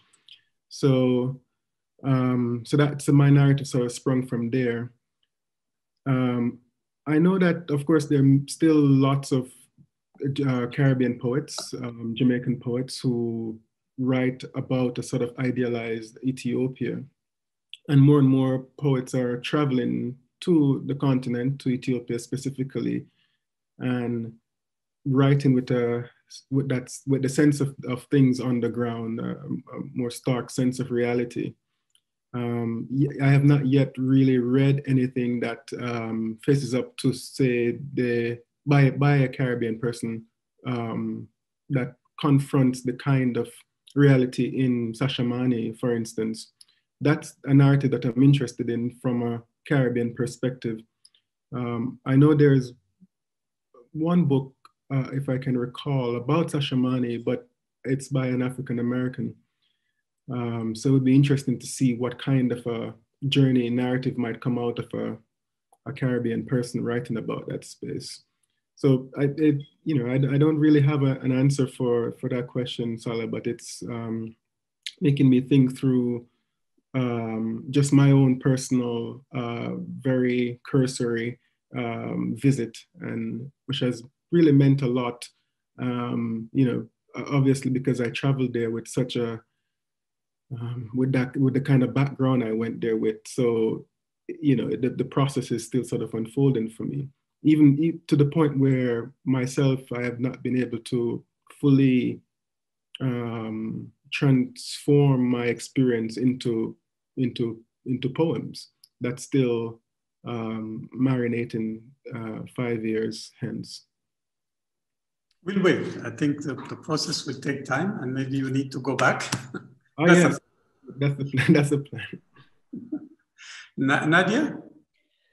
Yeah, um, thank you. I, I mean, I, I, I think um, Professor Hutchinson probably is much more familiar with a lot of the contemporary poetry that has been written about Africa, but um, uh, I, from my personal reading, my experience is, is that there's a lot more of the um, kind of travel writing that you mentioned, um, Professor Hassan, about you know uh, in Saidiya Hartman's book and uh, uh, and by poets too. I mean, I was thinking about um, not quite contemporary, but Gwendolyn Brooks has written um, about her eh, travel to to Africa as well, um, and uh, so I. I, I don't know. I wonder um, why, you know, there hasn't been as, as much poetry that directly engages with travel to, um, to Ethiopia. Um, and I, I do hope that there will be um, something from Professor Hutchinson on that, um, on his experience. But um, I, especially about Shashamane, I think that that would be um, something that a lot of people would be interested to read. As far as the question about uh, the discussion yesterday about uh, Ethiopian exceptionalism and this uh, aversion to critique that you mentioned, um, Professor Hassan, I think um, there, one of the things I, I kind of um, touch upon in, in my book is that uh, I think there's is something so valuable about um, this model of imperial Ethiopianism that I, I tried to sketch out in the book that um, makes challenge or critique difficult because it seems to undermine what the whole um, ideology is about. Uh, whether or not that's true, it seems like it's very difficult to kind of, um, uh, you know, gain any sort of um, uh, purchase, you know, when when criticizing, um, uh, you know, um, uh, the elite or the monarchy. Um, it, it's it it feels as if, um, at least until um, the 30s, it's there's in the, in the, writing about Ethiopia, there's very little direct critique. So I, I was finding a lot of sort of uh, hints of, of um, either um, internal contradiction about how uh, writers were imagining Ethiopia, but still very little that is um, um, uh, openly uh, criticizing, um, you know, the monarchy. So um, I think that does change um, later, and that is part of why I kind of end my book around the 30s. I talk about an experience that Langston Hughes, Hughes Langston Hughes had um, when he went to um, Ethiopia in the 60s and um, met with Haile Selassie and, and felt very um, disturbed by um, the imperial culture that he was confronted with. Um, and I, so I do think you start to notice it later. Um, but but yeah, that's that was my um, my experience in reading uh, around in literature from the period. Nadia. There is a question by Dag Mawi Wapshit, if you want to go ahead, Dag. Oh no, uh, uh sorry, uh, Salah. Is uh, sorry, mentioned Langston Hughes now, and um, I'm curious. Uh, um, was he involved in uh, writing the Ethiopian um, anthem, national anthem? Uh, I don't know anything about that. I, did you read that somewhere, or? I thought I read that from your book. Um. no, I don't. I, I don't think I talked about that. He wrote a poem for um, for Haile Selassie um, for the to celebrate. Um, I'm trying to think what anniversary it was. Um, might have been the 25th anniversary of his restoration. Um, mm. Yeah. So. Um, no, the I, anthem was the anthem was written by uh, by, by Ford. Abbey Ford. Uh, yeah. Father. Yeah. Yeah. Arnold Ford. Yes. Arnold Ford. That's the UNIA uh, Ethiopian anthem. Yeah. Oh, I see. I see. Yes. Yes. Mm-hmm. Okay, Dag, Dagmawi, option? Uh, yes, sure, sure, sure. Uh, let's see, can you turn that on? Um, Salah, you, uh, you, let me say, all Fikru, Nadia, Ishion, beautiful presentations. Uh, uh, I was initially, when I put myself on cue, I was going to ask the question that you, uh, that Ishion just answered about uh, the counter intuitive move as a Jamaican traveling to Ethiopia, not to write about, deciding not to write about Shashamane, which would be the expected thing, to write about Lalibela instead. But mm. my question has been answered. But since I'm, since I, I have the occasion now, I'm going to ask another question to Ishion, uh, and that is Ishion. So when you came, is it the case that you didn't know you were going to write an essay, uh, and you are a poet, and what is it that about the experience of going to Lalibela that chose the form of the essay and not your, you know, your chosen genre uh, mm-hmm. in the genre that you are such a, an exceptional, uh, you know, artist at, which is poetry. Oh, thanks, Doug. Um, and thanks for saying that. Um, I, I, yes, I didn't think I would do anything. I thought just, oh, can can can you guys hear me? Yes. you know, um, of course, the, the essay form gives you more space to explore, um, you know, and to invite uh, research and, and experience uh, uh, together. Because uh, when I started to, to draft the essay, I realized that I couldn't just count on the actual travel. I had to do work. Um, for instance, I, I discovered uh, or researched the, the, the first writing uh, on the, the churches of Lalibela, you know. Uh, but that kind of expository meandering, um, it could work in, in, a, in poetry, but with the essay, because the search, um, the, the width of an essay is horizontal, you can sort of go further and push a, a, narrative and create a narrative that is more inclusive to hold both research and um, and, and experience. So it, it came out that way.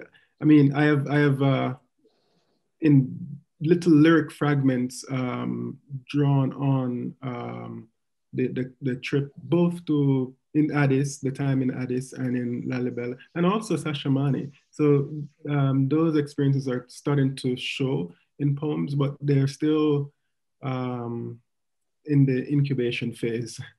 And yeah, I'm, I'm just hoping that hopefully in 20 years, I will have at least two very good poems um, on that. Uh, there is a question. Uh, could I, uh, uh, Salah, would you, would you mind if I make a comment here, please, as a follow up to what has been said so far? Sure, sure, please go ahead. Yes, uh, yeah, thank you. one is about travel writings. Um, Uh, uh, I think Dr. Nurhussein and uh, Dr. Um, Jensen have done a good job speaking uh, from the point of view of uh, uh, of Ethiopia within the context of I don't know if I would call it romanticized or the idyllic Ethiopia. But there is a name that I would like to drop uh, uh, because I think it's a very, very crucial name. And much of the African American travel right thinks about Ethiopia, even if it doesn't build on what I'm going to say, it at least is a follow up. And the name that I'm going to drop is uh, Malaku Bayen's wife. Uh, I'm sure Dr. Nurhussein would know who she is because uh, I, have seen her name mentioned in her book. That is Dorothy Hadley Bayen. Dorothy did actually write uh, about her experience in Ethiopia, uh, and those writings could now be found uh, in, at Yale University's uh, special collections. Uh, they're not very extensive, but she has a series of correspondence uh, between herself and her sister, who was situated, I think, in Washington, D.C. as well. So Dorothy writes based on her first-hand experience in Ethiopia. and those writings are actually very sensational.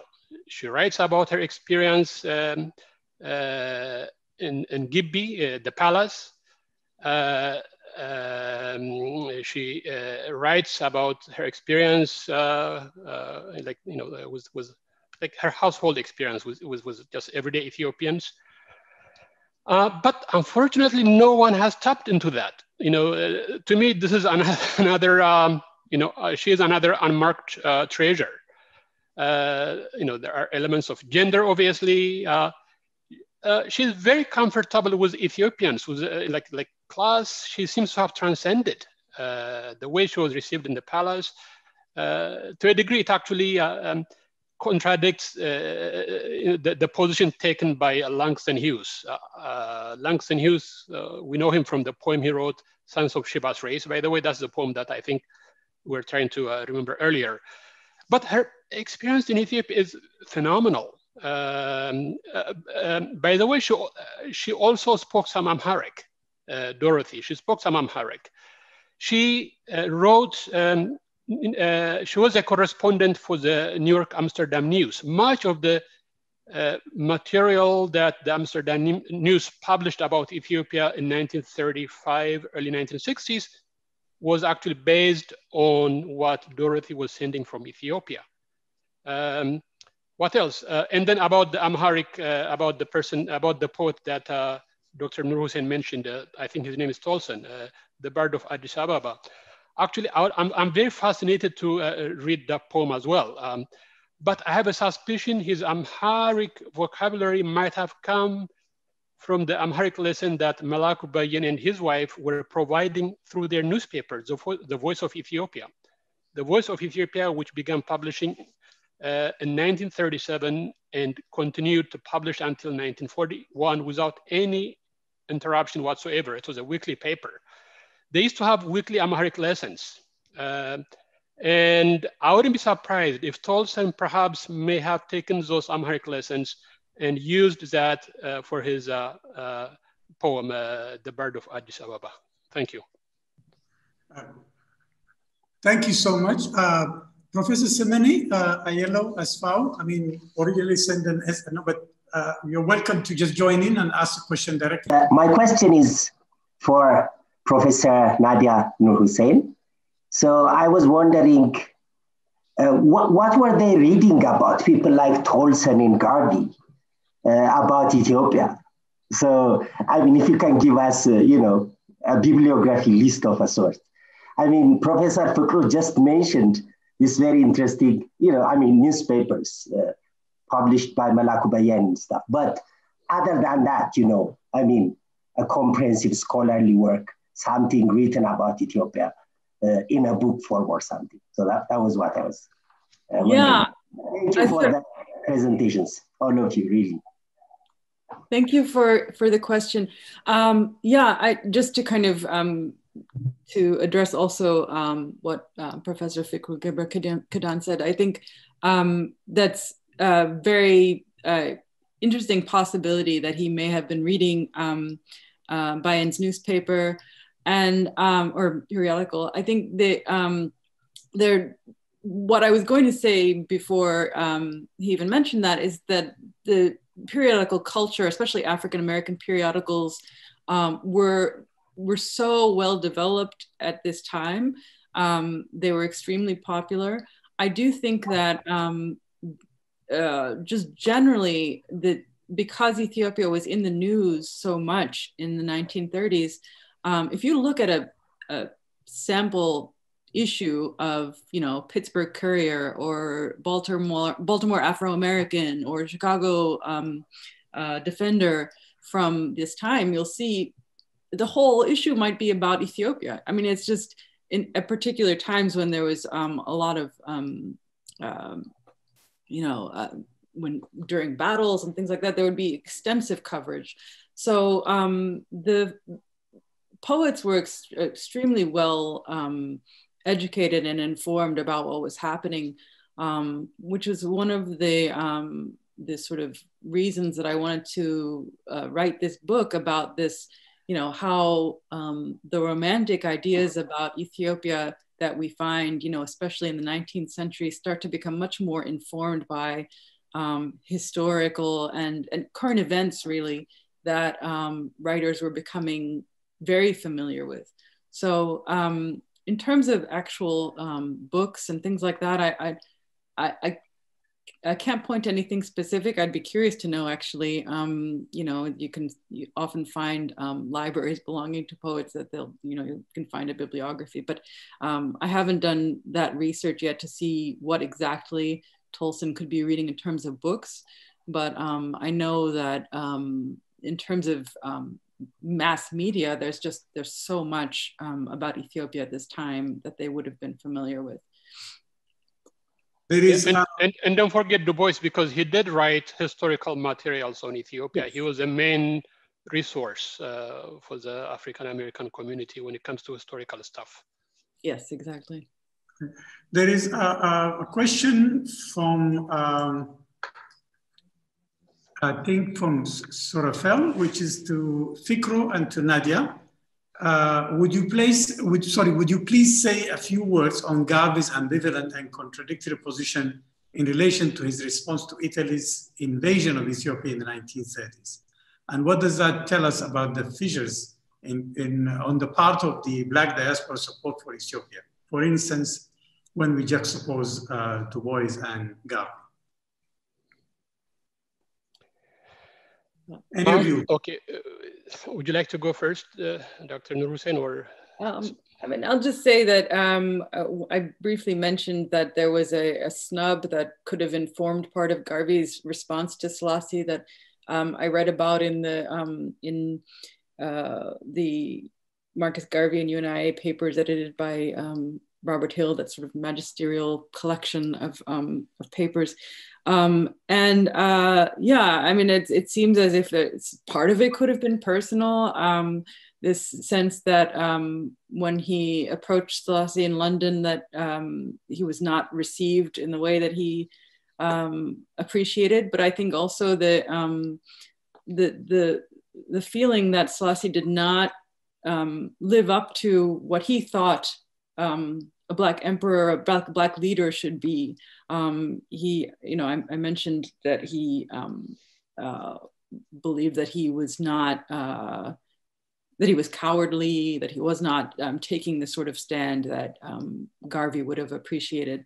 So um, I do think it is complex. I think it's um, there are a lot of contradictions in terms of his, how he uh, viewed Ethiopia's potential and and and um, its leadership. But um, yeah, I'll, I'll allow um, Dr. Uh, Gebrekidan to to continue. Thank you. Yeah, and actually, I'll build on the uh, the point you mentioned last, the com the complexity. Uh, Garvey in general maintained a very complex, sometimes even antagonistic relationship with uh, uh, the African American intellectual elite. Um, and that was very self-evident, uh, you know, in the debate that he and Du Bois had, you know, over um, over many things. Uh, Garvey was more like he was, I think, uh, he was much more comfortable, uh, you know, with, with, with you know, uh, Booker T. Washington than he was with Du Bois. But in, with regards to Ethiopia, I mean, when he, when, when Marcus, we have to also put it in the context of uh, uh, time. Uh, when Marcus Garvey lived in London, that was in the late 1930s. He was really, um, he was almost like a forgotten figure uh, within the, um, you know, uh, uh, within, within, within, um, within the African American pro protest tradition. He wasn't the, the person he was in the 1920s. Uh, so he was very much, uh, uh, you know, a lone ranger, uh, and therefore it was easy for him, I think, to feel snubbed, as uh, Dr. Nur said, uh, and feel disgruntled.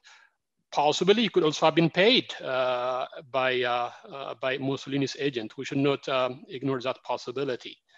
Um, but fortunately, his remarks actually did um, did result in people uh, African American newspapers, uh, newspaper editors uh, rallying behind Ethiopia. That also brings up the issue of how Ethiopia is viewed within the diaspora community. You know, there is a, there is that love-hate relationship. today, we obviously focused on, on on the positive side, on the romantic side, but you also had small group within the African American community that was very, very critical of Ethiopia uh, for various reasons. So to a degree, uh, Garvey's writings in 1937 uh, uh, pandered to, you know, to those negative images of Ethiopia, slavery, dictatorship, uh, primitive. So he was playing uh, uh, into that pre-existing image of Ethiopia. Thank you. Okay, any other from the panelists, any point that you want to raise? There, there is an, a question that is actually partially, unless there is a feeling to Professor Bahru, do you want to? I'd like to make a couple of comments if, if, there is time. Let me say that uh, I've been very much fascinated by all the three presentations because they, they amplify in a way what uh, I, I, delivered uh, yesterday in the keynote speech. Uh, uh, the, the Back to Africa movement, a contemporary edition of Back to Africa movement by Ishion, the literary dimension of uh, uh, the African American solidarity with Ethiopia in the, during the fascist invasion by Nadia. And Fikru has unearthed a rather precious uh, document which has eluded me in my search for the and the biography of uh, Malaku. Uh, because at that I, I went to the Schomburg Center and I, I, I, discovered, I was able to discover quite a few documents. So uh, I was really struck by the, by the, I just think maybe you could say a few words about uh, how you came across it. Maybe I, I, I did not uh, follow you uh, exactly uh, correctly. Uh, how you how, how you found it, how it, it got there, and so on. What struck me was the contrast between uh, Du Bois' relationship with Ethiopia and Garvey's relationship, rather troubled relationship. I think Nadia has alluded to that. Not only did he falsify history by saying that Haile Selassie fled and uh, Kantiba Nasibu died on the battlefield, but he even went, he became an apologist for the fascist order, saying at one, at some stage, at one stage actually that Ethiopia uh, probably would, uh, it's probably through Italy that Ethiopia shall stretch her hands unto God, kind of realizing something that was really a, a very powerful motto for Ethiopia as well as for African Americans. So uh, uh, I'm really glad by the presentation, but maybe Fikru, you could say a few more, a few, a few more sure. words about the document, uh, how you came across it, where is it available now, and so on. Thank you. Yes. Uh, could you hear me? Yes, yes.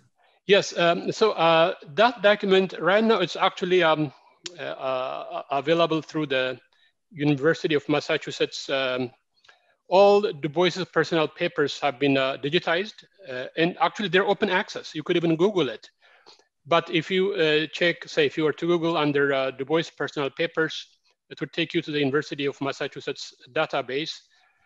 And if one were to search uh, under Ethiopia, there would be at least over 400 results. Um, uh, so uh, you could easily, you know, search for Kentiba Gebru or Malaku Bayen, uh, and then, you, know, it's, it's, very easy to access. It's open access.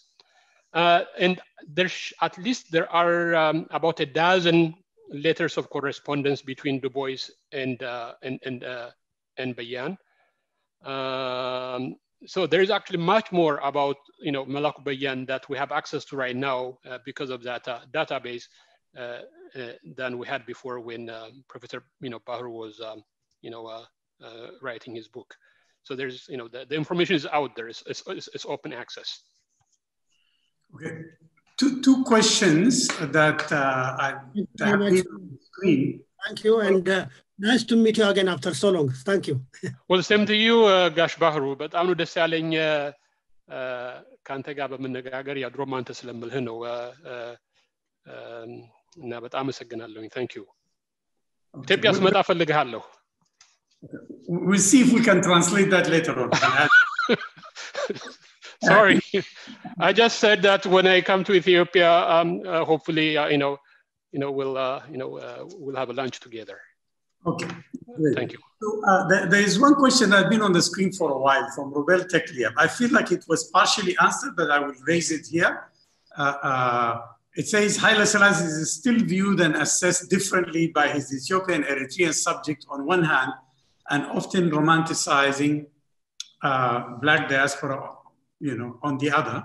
What is the source of that discontent? Anybody could try to answer that. I thought partially it was we discussed, but it would be okay to just. I feel like the uh, still there is a lingering question there.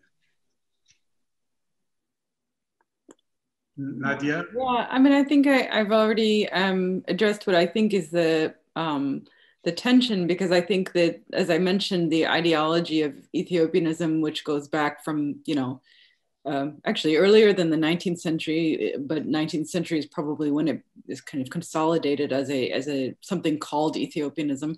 Um, uh, the, there's some kind of um, resistance to uh, critique in in that's embedded in in the ideology, I believe, so that it became difficult um, uh, to question um, uh, imperial culture because it seemed to be part and parcel of Ethiopianism.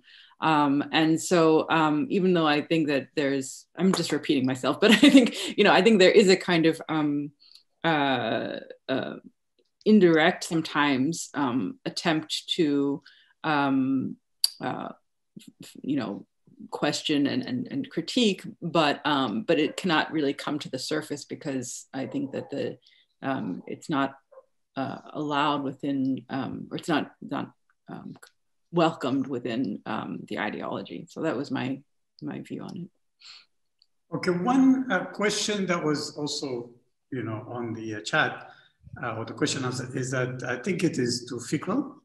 To, yes. uh, says to drop an accusation that Garvey may have been paid by Mussolini without evidence sounds uh, problematic.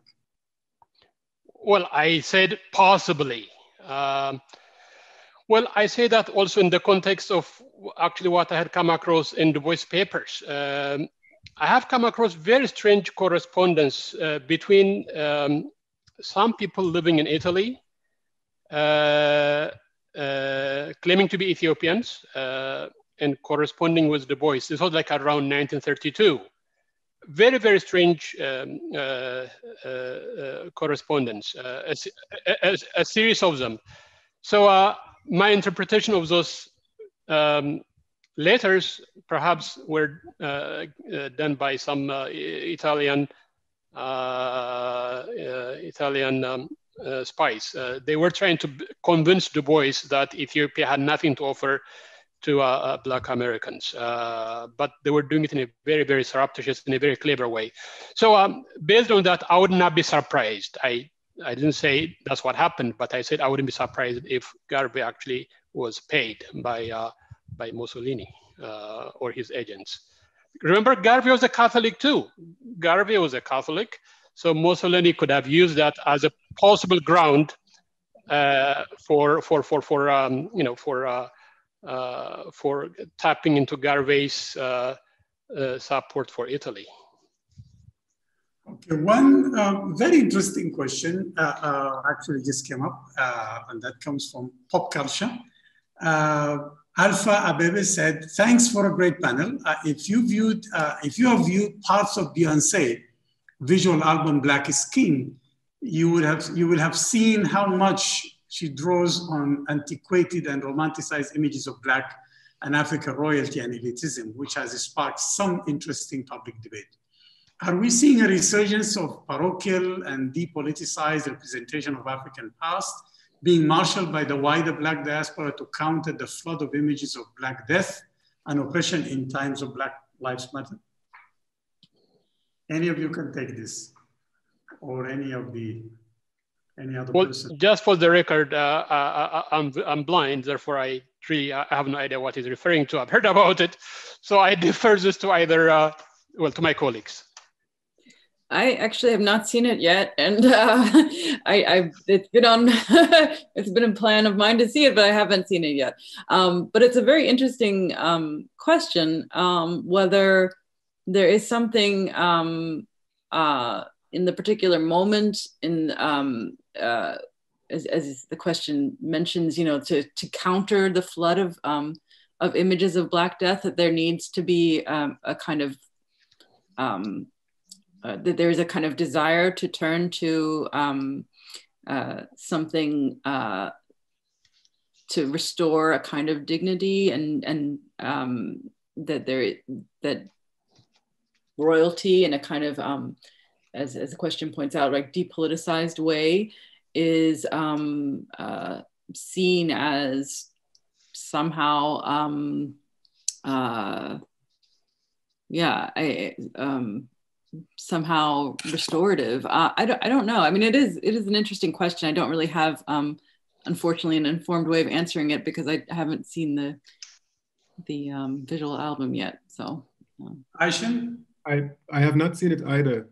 I, I do can refer you to an article uh, written by uh, Cornell professor of history. Um, Russell Rickford. Russell Rickford, yeah. On, in Africa Is a Country. Album. Uh, is the country. Yeah. If you just say Russell Rickford, uh, you will find a good essay. And, and it's actually raised a lot of uh, uh, uh, discussion among people. I, I just feel the question sometimes is unfair, uh, being an art historian, is that the when you talk about the literary or artistic or visual imagination, I mean, I think uh, there is something about it that is cannot be judged by these kind of political uh, uh, measurements. I mean, throughout history, even if you look at uh, the presentation here, and, and especially Nadia's references to poetry, are we going to judge uh, um, these genres by ethnographic, uh, you know, accuracy? Uh, the, um, are we going to say to artists, don't, you know, because now when you think about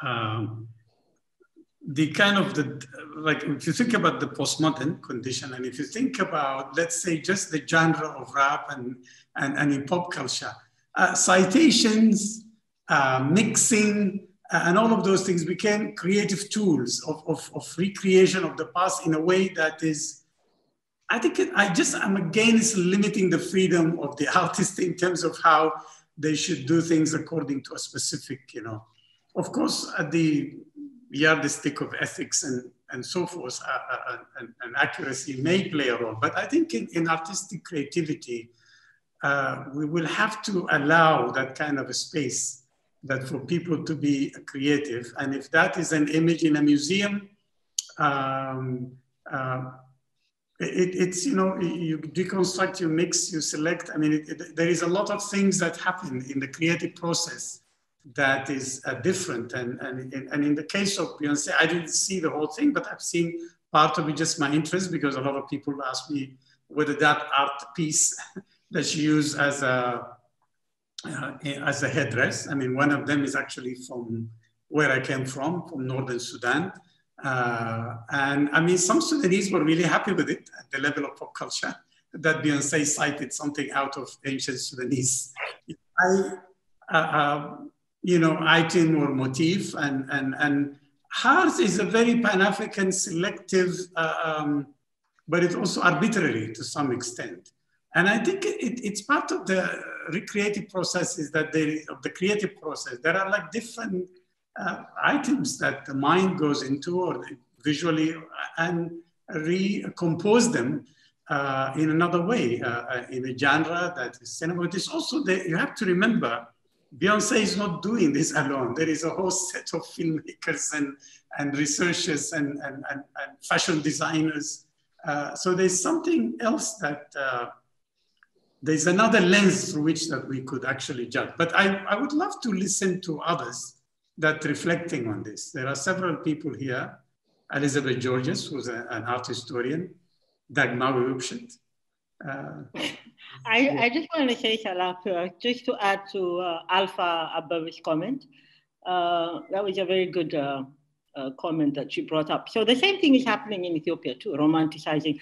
As the politics grow harsher and harsher, romanticizing Haile Selassie has become a new thing.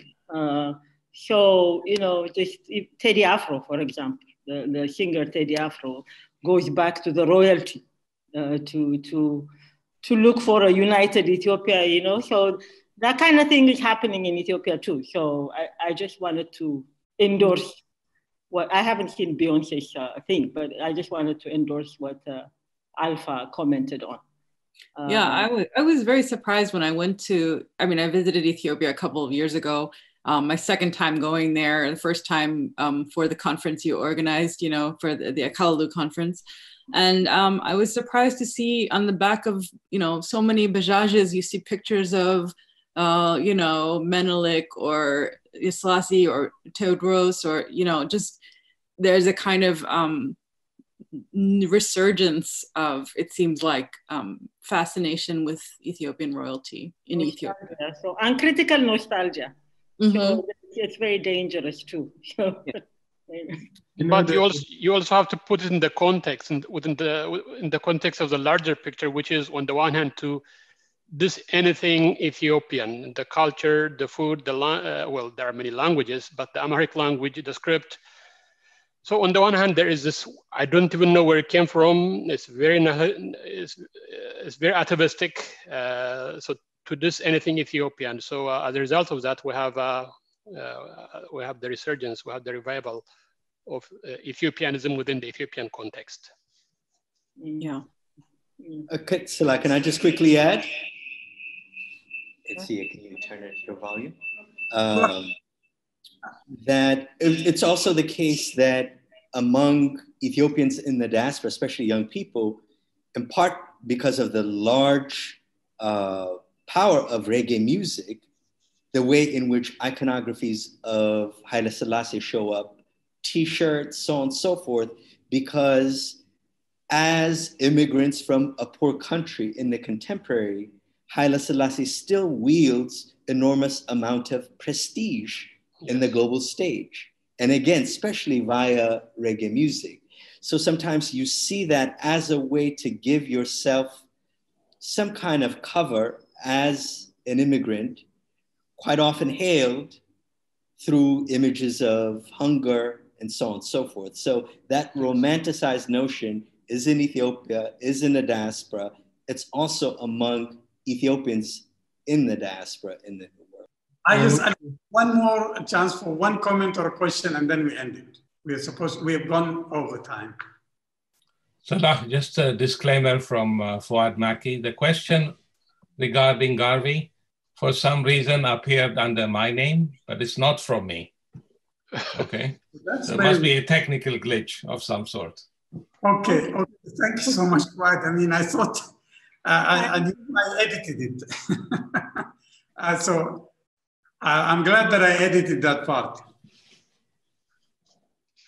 It, it, it, doesn't say sound strange, but it sounds like Trumpian. So I, I, took that part out anyway, so uh, let me just end it here. Uh, and I really want to thank you all, uh, Nadia, Ishion, and Fikru, for really very inspiring, enlightening uh, uh, presentations, and also the discussion and all the colleagues that uh, kind of interjected or intervened and gave comments. And I think um, that would be great. We actually, at some point, just going back to Beyonce and pop culture, is that we are trying to do a panel soon as part of our on the idea of cultural appropriation in general.